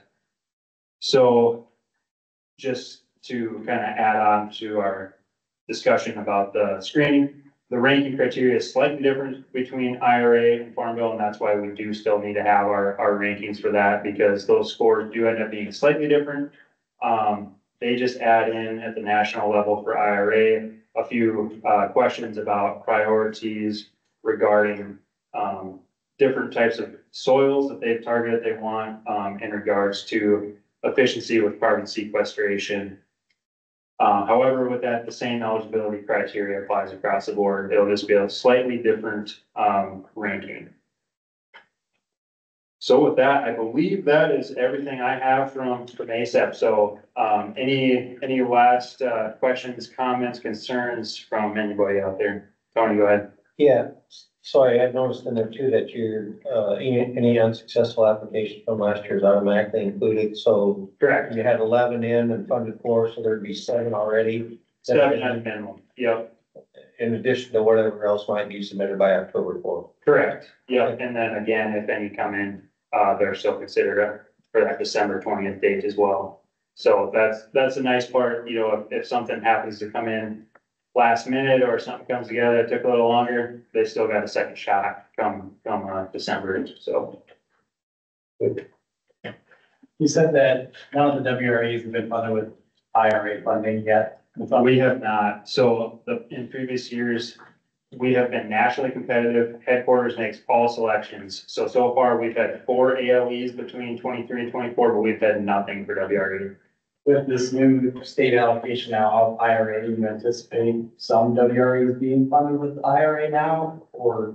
Yeah, we have not sat down and discussed how we're thinking of, um, allocating those funds within our allocation. I only actually found out about that yesterday afternoon, so that was brand new information to me. I haven't even talked to Val about it. Just talked to Tony about it before the meeting started, so that was brand new. I would suspect yes, but we haven't, we haven't discussed that yet. All right, anything else? All right, well, thank you, everybody. Thank you, David. Um, I'm just gonna mention a couple, one more thing that we overlooked in the CSP report. Uh, we updated all of our minimum payments. So a minimum annual payment of four thousand dollar applies to all of our active conservation stewardship programs, contracts. So we've gone through, done modifications, um, for those. So that was something that was recent. It will impact, it impacted several contracts, um, but all of those efforts have been completed and applied here moving forward. So with that, Colette, we wrapped up our programs report. That was a long one today. Maybe we won't be invited next round. No, that's, that's very important. So this is a lot of information. Thank you all for hanging with us. And, and from the practices section to the uh, program section, if you would like to stand up in the back room or whatever, please feel free to do so as we just have a couple things left on our agenda. And I think one of these things, this next, um, presentation is something that will help tie things together. So, uh, feel free to stand up if you need to, but I would invite you to please uh, stay tuned for our next presenter, who is Kent Vlieger, who is our state soil health- specialist.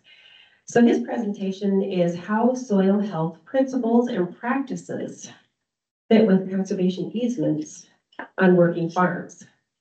So stick, here you are,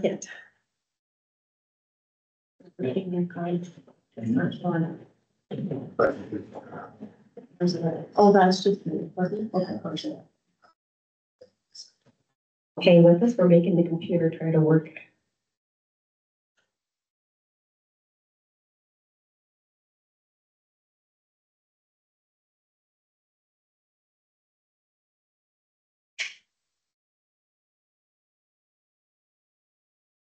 So one of the things that I will mention while we're getting the computer to work is that um, if you have seen this card on your table, or if you saw it at the registration desk, it is called the Dakota Conservation Network. And this network is the result of an agreement with the South Dakota Association of Conservation Districts. And it's really cool because the uh, Dakota Conservation Network is an opportunity for people to find help, right?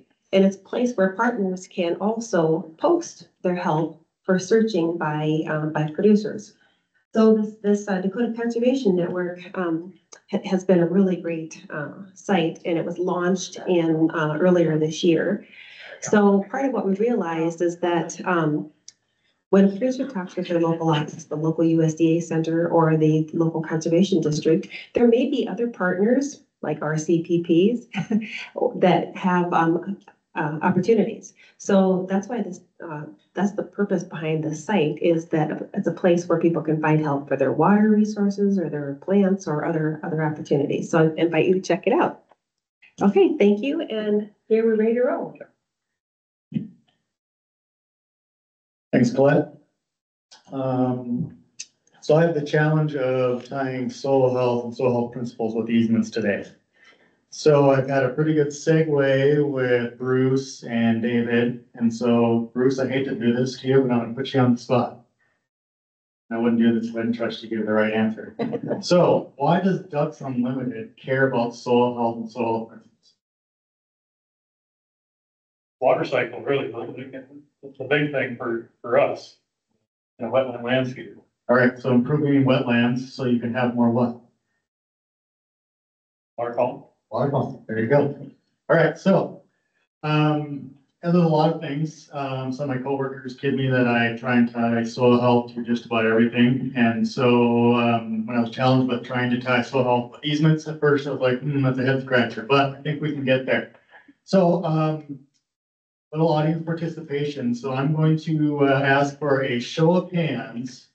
Since we have a lot of partners, uh, partner groups, partner agencies, that are both here in person and online today.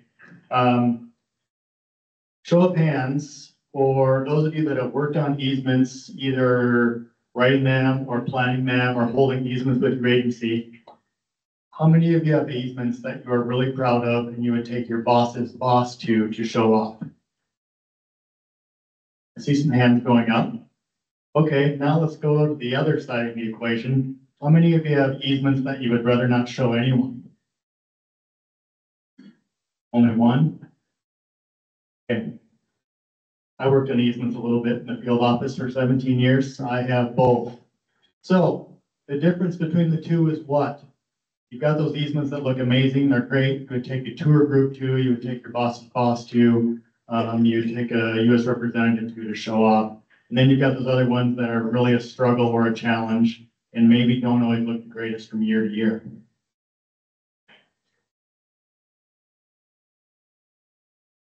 No one's willing to speak up. Here's my, uh, here's my proposal. I would propose that the only real difference is that some of the planning on the front end before it really went into an easement maybe could have been better on some of those that are now a challenge that are 10, 15, even thirty years out. And so today I'm going to go through, um, just maybe some examples or some practices that we could look at on some of our easements uh, whether they be grassland easements or wetland easements or predominant easements that we have um, in South Dakota or some of our other newer types that are coming, um, coming to head as well. So if you're looking at this picture here online or uh, obviously here in the room, which side of this fence, and don't answer this out loud, just kind of keep your answer in your head, which side of the fence would you, would you rather see? Which side of the fence do you think is an easement and which side is not?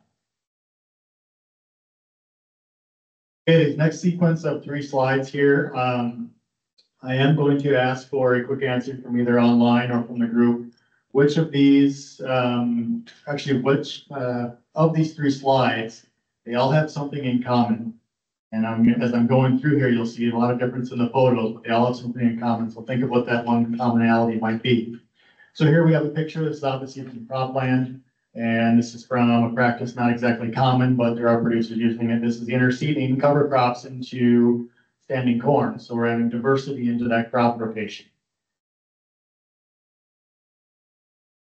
Next one here, a little bit more livestock focused. We have livestock grazing in a cover crop into the fall months there. And then we have another fence line photo of a prescribed grazing system.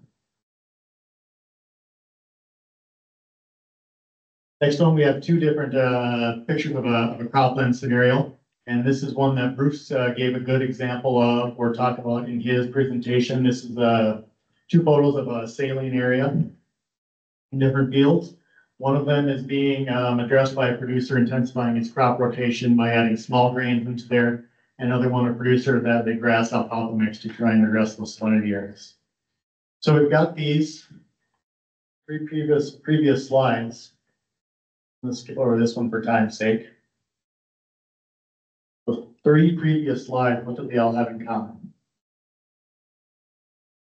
Any guesses? Other than soil principles. All of those slides, and even the one I skipped over there at the end, and this one we're showing here, all those are from different types of easements that we have here in Beadle County. Okay, so the reason I talked about that is these are all what I would call very successful easements. These are ones that you would show off um, for the wildlife groups and for our Game Fish and Parks and it's in the audience. All those are all open to hunting in some form or another. So either through a walk-in area uh, or a wildlife area. I'd like to show this one, um, seeing that Bruce was preceding me on the, on the agenda. So this is from an area that um, our Ducks Unlimited um, staff would know well, and some of those that have been to tours here in the area, uh, or through some of our trainings as NRCS employees. Uh, this is a crop field that happens to be in an easement as well. Um, this is a soil plot that is used for demonstration purposes, um, that is, happens to have an easement on it. And what we're showing here is you can see a spade standing in some, um, small grain, and then you see Right next to that spade is a duck nest that's in there. So the reason I tie soil health practices and soil health principles into easements is because I think it can really address all of our needs that are on our easements. So our easements are placed in for wetland purposes or other things. Um, so US Fish and Wildlife Services is here, marks in the back. So a lot of their easements are grassland or wetland easements or both. And you've got some counties, uh, for example, Sanborn County to the south of us here in Beadle has a lot of easements on it, a lot of grassland easements. And some of those, working with producers, um, through my NRCS work in field offices, some of those easements look amazing. And some of those grassland easements, yes, it's still in grassland, but it looks kind of like a tabletop. So there's some soil health soil health principles that should be adopted on those areas if we really want to maximize the potential and use of those easements. So these are those five principles of soil health, keep the soil covered, minimize soil disturbance, uh, increase plant diversity when possible, have a live continual, living- uh, continual living root in the soil as long as possible throughout the season, and integrate livestock. How can we do this on easements? This is a photo from not too far away from where we're sitting today. It's a fence line photo, so it's kind of a landscape uh, scale that you're seeing here. Then we're gonna move closer up. So this land is under easement as well. Okay, take a snapshot in your mind's eye of this photo and look at the next one, because it's from the same location.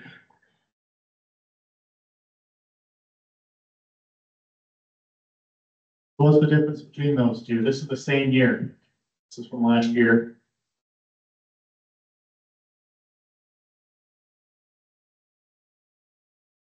Same fence line, almost same exact location. So what am I trying to show there? Management, right? So there's a difference in management. The very first slide that I showed you that I asked which side of the fence is the easement and which is not. Kind of a trick question. Both of those, both sides of the fence are an easement. You can't have this side of the fence, which I think we would all agree looks amazing. It's all native vegetation, really well developed and grown. You can't have this side without the livestock on this side year after year. I think many of us have seen those set aside acres that were put in a long time ago, um, especially for our wildlife management areas, and they were left to sit idle. No management took place out there. And then eventually 10, 15, 20 years down the road, it turns into brome grass. And I agree, that's not meeting our easement needs. Okay, we also have easements that are on cropland as well. We have wetland easements, quite a few that are on cropland. And this is the practice here, this is the interseeding, I'm just sticking with the same thing to uh, save time. It's the sequence over the course of a year.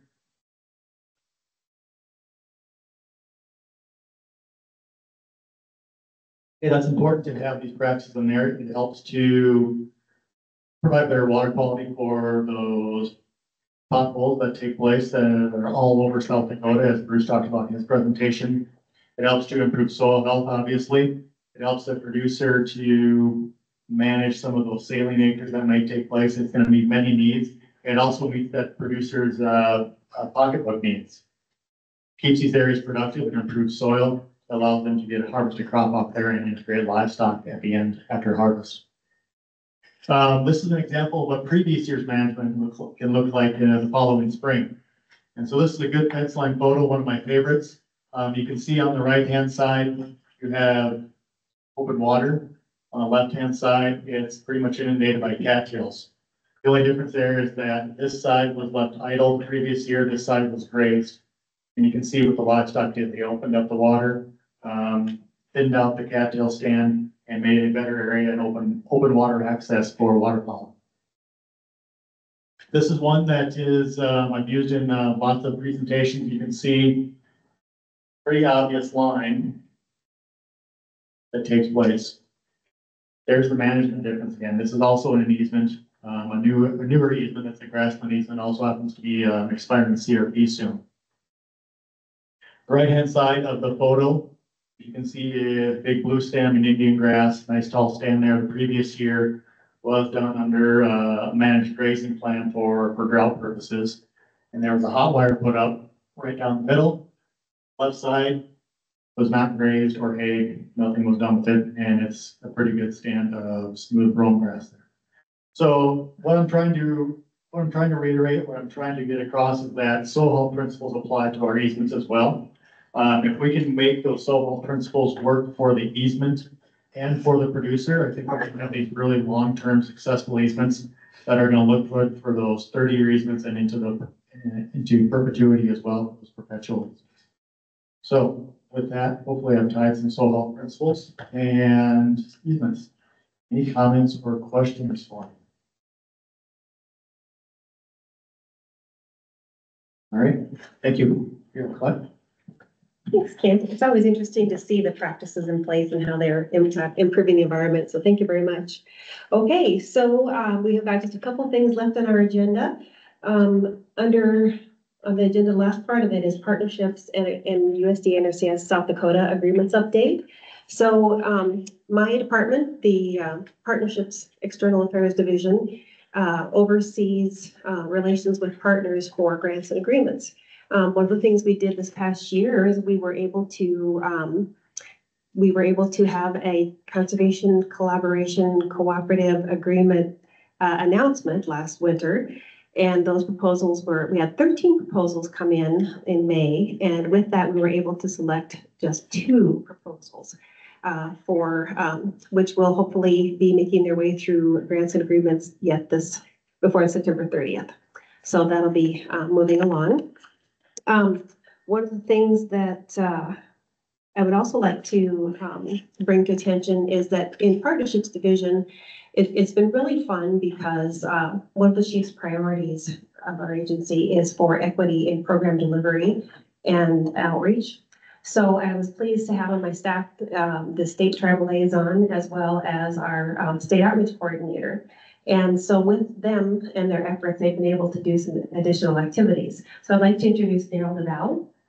Um, and he wanted to just speak a little bit about some of the outreach activities that we've been doing across the state to help ensure equity in our program delivery. Thank you, Colette. And I'll start with our, our tribal nations, and I know that Tony may want to say, but Tony and our state tribal liaison, Nate Grieve, have been visiting with them. We'll continue to visit with them on a one-on-one government-to-government relationship basis. And I want to remind those online, especially if Tina's still online with Cisco Optima that Jessica mentioned training available for our partners. That does include tribal employees and BIA employees, that it could be simply a workshop for the afternoon or come to our employee several day training also. We, we keep that invitation open for the tribal government employees and also possible federal employees with BIA. With that, especially with time constraint, we, one of our focus areas of our South Dakota outreach plan does focus towards beginning farmer ranchers. Now, that does not have to be new customers to NRCS, but overall, we focus on new customers, whether that's just technical assistance, can't talking on soil health practices for persons that are new to NRCS and our USDA services, or it could be beginning farmers also.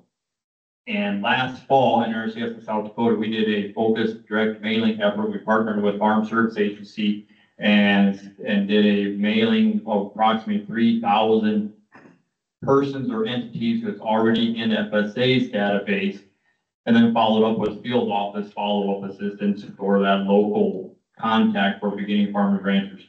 That did result in approximate, in a larger than normal set of applications for VAL's programs of our standard of our um, flagship program, environmental quality incentive program and conservation stewardship program. And What I would like you to do is turn in your packet to page five, to the back of page five. I think that's the opposite the CSP page and you have a blank page. I'm gonna make you make your own handout.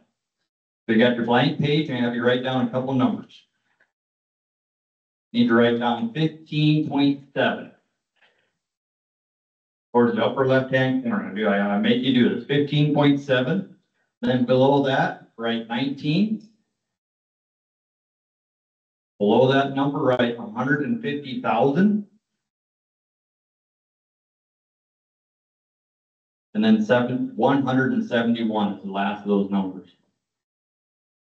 So what those numbers are, is the result, the end of those two programs of our number of, that results in beginning farmer, direct assistance to beginning farmer ranchers. Some of the program information that Val and her team presented listed fund codes that was titled beginning farmer rancher. Those are some fund codes, but not necessarily the total obligations that went to recipients that fall into the category that generally our current farm bill defines as less than ten years. The first number you wrote down, fifteen point seven, that's fifteen point seven million dollars obligated to beginning farmer ranchers, individuals or entities in South Dakota alone so far this year FY twenty-four. Fifteen point seven million dollars obligated in long-term agreements that CSP or EQIP that goes to benefit their operations, soil health, and local economies. You wrote down a number underneath that of nineteen percent. That is the percent of the total obligations. So nineteen percent of our total obligations of, of that, of that seventy-some million dollars is what that fifteen point seven equates to. Nineteen percent of our obligation towards beginning farmer ranchers. Hundred and fifty thousand acres that we're helping service with those hundred and seventy-one contracts. Hundred and seventy-one contracts with beginning farmer ranchers, individuals or entities. hundred and fifty thousand acres that we're assisting just with obligations that we started this year. So kudos to field offices that worked on those, generally may take a little more work than others. And kudos to the program staff that Val runs to help administer and keep those, that focus towards assisting that population. With that, this fall, we are focusing on a direct mail campaign to operators, producers, growers within reservation boundaries. That's our next step and one of our focus areas.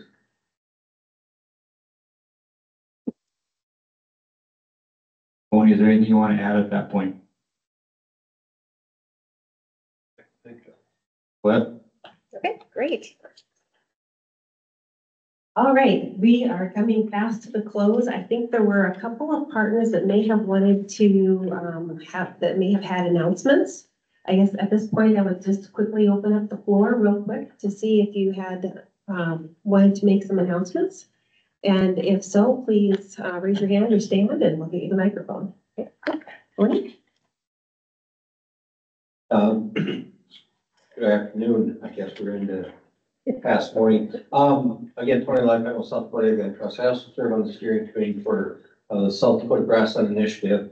Just wanted to point out that the initiative will have our, we will have our quarterly meetings here coming up the first three days of October. There's a flyer on the table over here, uh, to grab one to, to see where, where you could, uh, attend one of those. Rapid City, October first, here on October second, Watertown on October third. Um, and again, just wanted to let you know if there's a flyer up here, if you want to grab one, uh, make plans to, to join those, that uh, quarterly update meetings, if you can make it, thanks. Thank you. Thank you. All right, Julie. Thank you, everybody. Um, I just want to give a little update on what South Central RC&D has been doing. Um, we were very pleased to be able to have a conservation collaborative cooperative agreement with through NRCS for education and outreach on woody encroachment in the South Central area, which is Todd, Mellette, Tripp, and Jones County. Um, this summer, because the, I know producers are very busy, um, we just went out and attended, um, events out into the community. We set up our, uh, booth, um, at sixteen different events across the four counties, and we had outreach to over hundred and forty people. Um, we also did some, what I call little blurbs on uh, KWYR radio station, um, on Friday and Saturday mornings. And, um, I asked the radio station if they could kind of give me an estimate as to how far our little announcements went. And he said, according to their ratings that they have, their station reaches fifteen thousand people every fifteen minutes. So our little thirty second ads, I figured, reached about five hundred people. So I was very pleased with that. Um, um, one thing that is not under our cooperative agreement, but South Central likes to go out and work in different areas, um, in our, with different partners. Um, we worked with SDSU, the NRCS staff on White River and, um, the Rosebud Tribal Ranch. Um, the Tribal Ranch has been hosting, this is their seventh year, of youth and adult rangeland, um, workshop. And so South Central has always helped them with the youth end of it by donating, um, uh, backpacks towards it. But this year we were able to go down and actually help with the workshop. Um, it was a very big success. Um, they said this is the biggest turnout they've ever had. They had thirty-two adults and forty-two youth who came in to, um, learn about, uh, pasture or, um, plant ID. And in the morning, um, we had, um, we had, um, Kaylee Weller.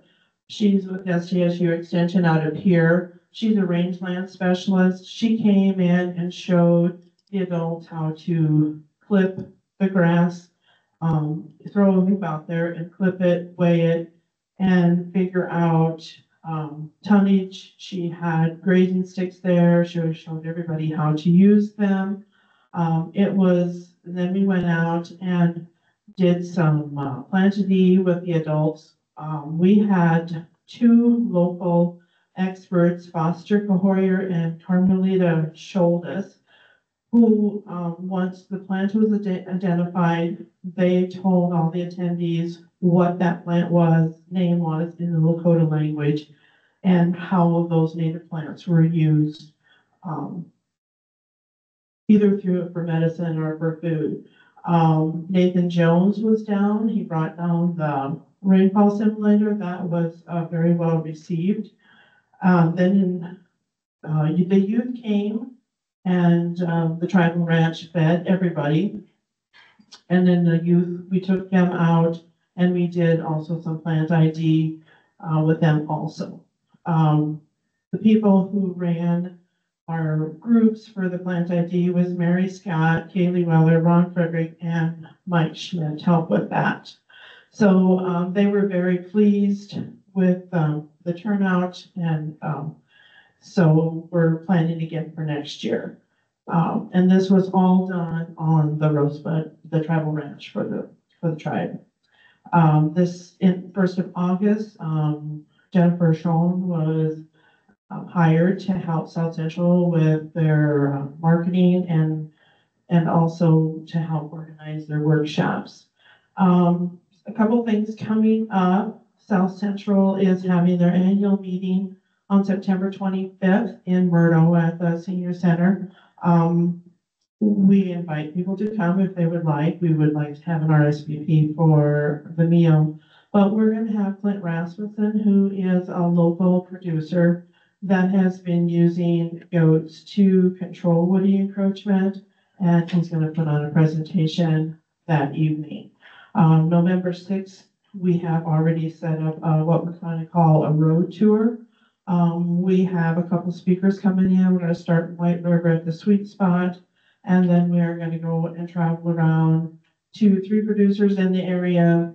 Um, and they're gonna go over the control that they've used. One of them is used some chemical control through an NRCS program. Um, he's gonna kind of let everybody know how, how that has turned out for him on the larger trees that you can't get to versus smaller ones that, um, are easier to, um, to get to in his pastures. Um, we have another gentleman that is hoping to get a prescribed burn-in next month. And uh, if, and we're gonna stop and hit that spot regardless whether he gets it burned or not, but just so he can explain what his, his plan is. And then the, the last stop is gonna be at a, uh, producer that has just been doing total mechanical control. Uh, when I called this gentleman to visit with him, he's not somebody that you will see out in the public, attend workshops. He's pretty reserved. Um, was a little nervous about calling him, but he said, I certainly will talk to anybody. And, um, he said, but I'm not a public speaker. Um, and I said, well, that's, that's fine. You'll just be standing out in your area, so you'll be, you know, in your comfortable surroundings. And he said, the only thing I will have to say is if you think you have forty trees, you will have four hundred out there. So, um, I'm sure he'll say a few more words than that for us, but that was his take on the, the need for the control of the eastern red cedar in his area. So, um, the last thing is, is we are uh, South Central's working with their partners to try and get the forty-seventh annual Ranchers Workshop organized. Uh, we'll be having a few committee meetings here coming up shortly, so the middle of January, we don't have a date set, but that's where we're looking at having it in White River, and there'll be more posters coming out on those two events on November sixth, and then also in January. Um, I do have some, uh, South Central's annual report, if anybody would like to take one. And, um, I think that's it. Thank you. Any, any questions for Joel? Is there anyone online that has a, um, yes, I see a hand up on there. Um, we'll turn it to you. I- Matt, is that you? Yep, that's me. Um, I will be quick. I know everybody's anxious to get going. So, um, as Tony did, I also want to give a big shout out to my field staff, our Farm Bill biologist team.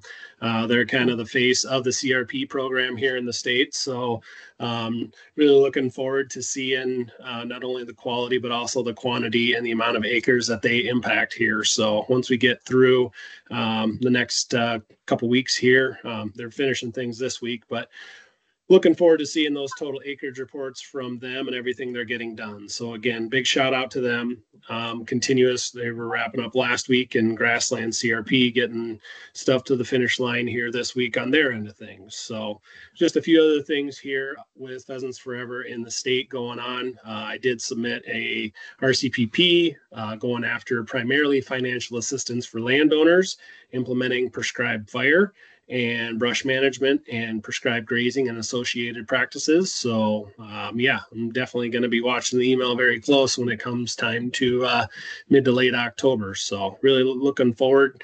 Uh, hopefully we have some luck with that. Um, and then um, I'll kind of summarize things real quick. Um, biggest thing is uh, staffing coming up for us. So uh, we'll have a few positions coming out here that we will be uh, hiring for. So the first one that'll be um, coming out will be for our monarch, monarch and native pollinator coordinating wildlife biologist here in the state. So some of you may have heard uh, Kat Bell um, has been promoted to a national position within Pheasants Forever. So the end of the month, she, she will be transitioning to that. Um, so if you know anybody interested, send them my way. Um, looking forward to getting that position continuing. Been highly successful and look forward to continuing that. So um, beyond that, um, we'll be having the uh, the positions posted for our precision ag and conservation specialists uh, hitting um, hitting the airwaves here very soon too. Just wrapping up the sub award uh, agreement with SDSU with that uh, making sure every acre counts RCPP. So uh, it's taking a little longer than we anticipated, but that should be out soon. And then, uh, yeah, later this fall, um, there'll be some other other positions coming too. So I'll uh, I'll bite my time my tongue on that for the time being. But uh, that was the biggest thing. And then again wanted to recognize our Farm Bill biologist team as well as the South Dakota Game Fish and Parks, their private lands biologist and conservation officer teams uh, really helped uh, roll out our public access to habitat program. So we kicked that off September 1st of 2023. And in the first year, we enrolled over 16,000 acres into that program. So that ties into uh, supplemental payments with South Dakota Game Fish and Parks walk-in area program, uh, which I think many of you in the room know that they work through Farm Bill funding with that with the voluntary public access habitat incentive program. So uh, that program is set up to help state and federal governments encourage landowners to allow public access for hunting, fishing, and other wildlife uh, recreational opportunities throughout the state. So um, I got lots more I could talk on, but I know time is of the essence, so I'll cut it cut it short there. And if anybody has any questions, I'd be happy to answer them. Otherwise, thanks for your time. Thank you, Matt. Any questions for? Another great partner at work. Lots of those in this room and online. Anyone else online for reports? If so, raise your hand or, or turn the camera on. And uh, I guess this will be bringing our meeting to a close. Um, I just want to remind everyone, if you do have some topics or subjects that you would like to be addressed in our our next meeting for uh, next quarter, please get that information to Tony, to me, or to Randy, and we'll be sure to um, look at how we can best address that topic. And um, Tony, would you have any closing comments for today?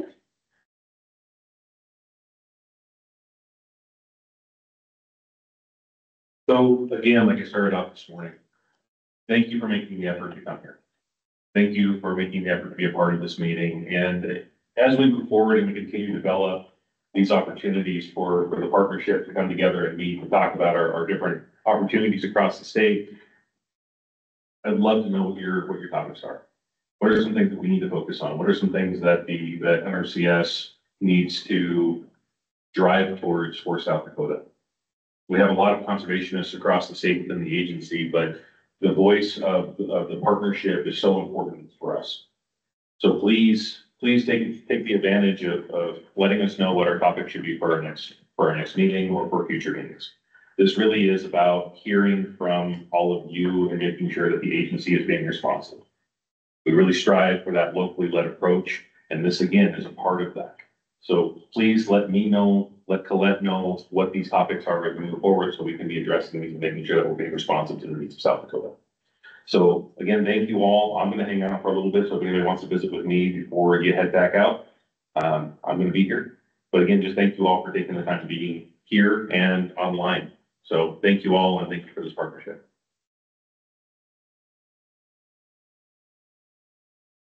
Thank you very much. With that, we'll close the meeting and have a great trip uh, home with everyone and, and we'll see you at the next meeting, which will likely be December seventeenth. So we'll, we'll send out a save the date.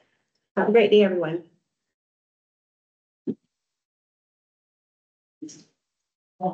Yes. Yes.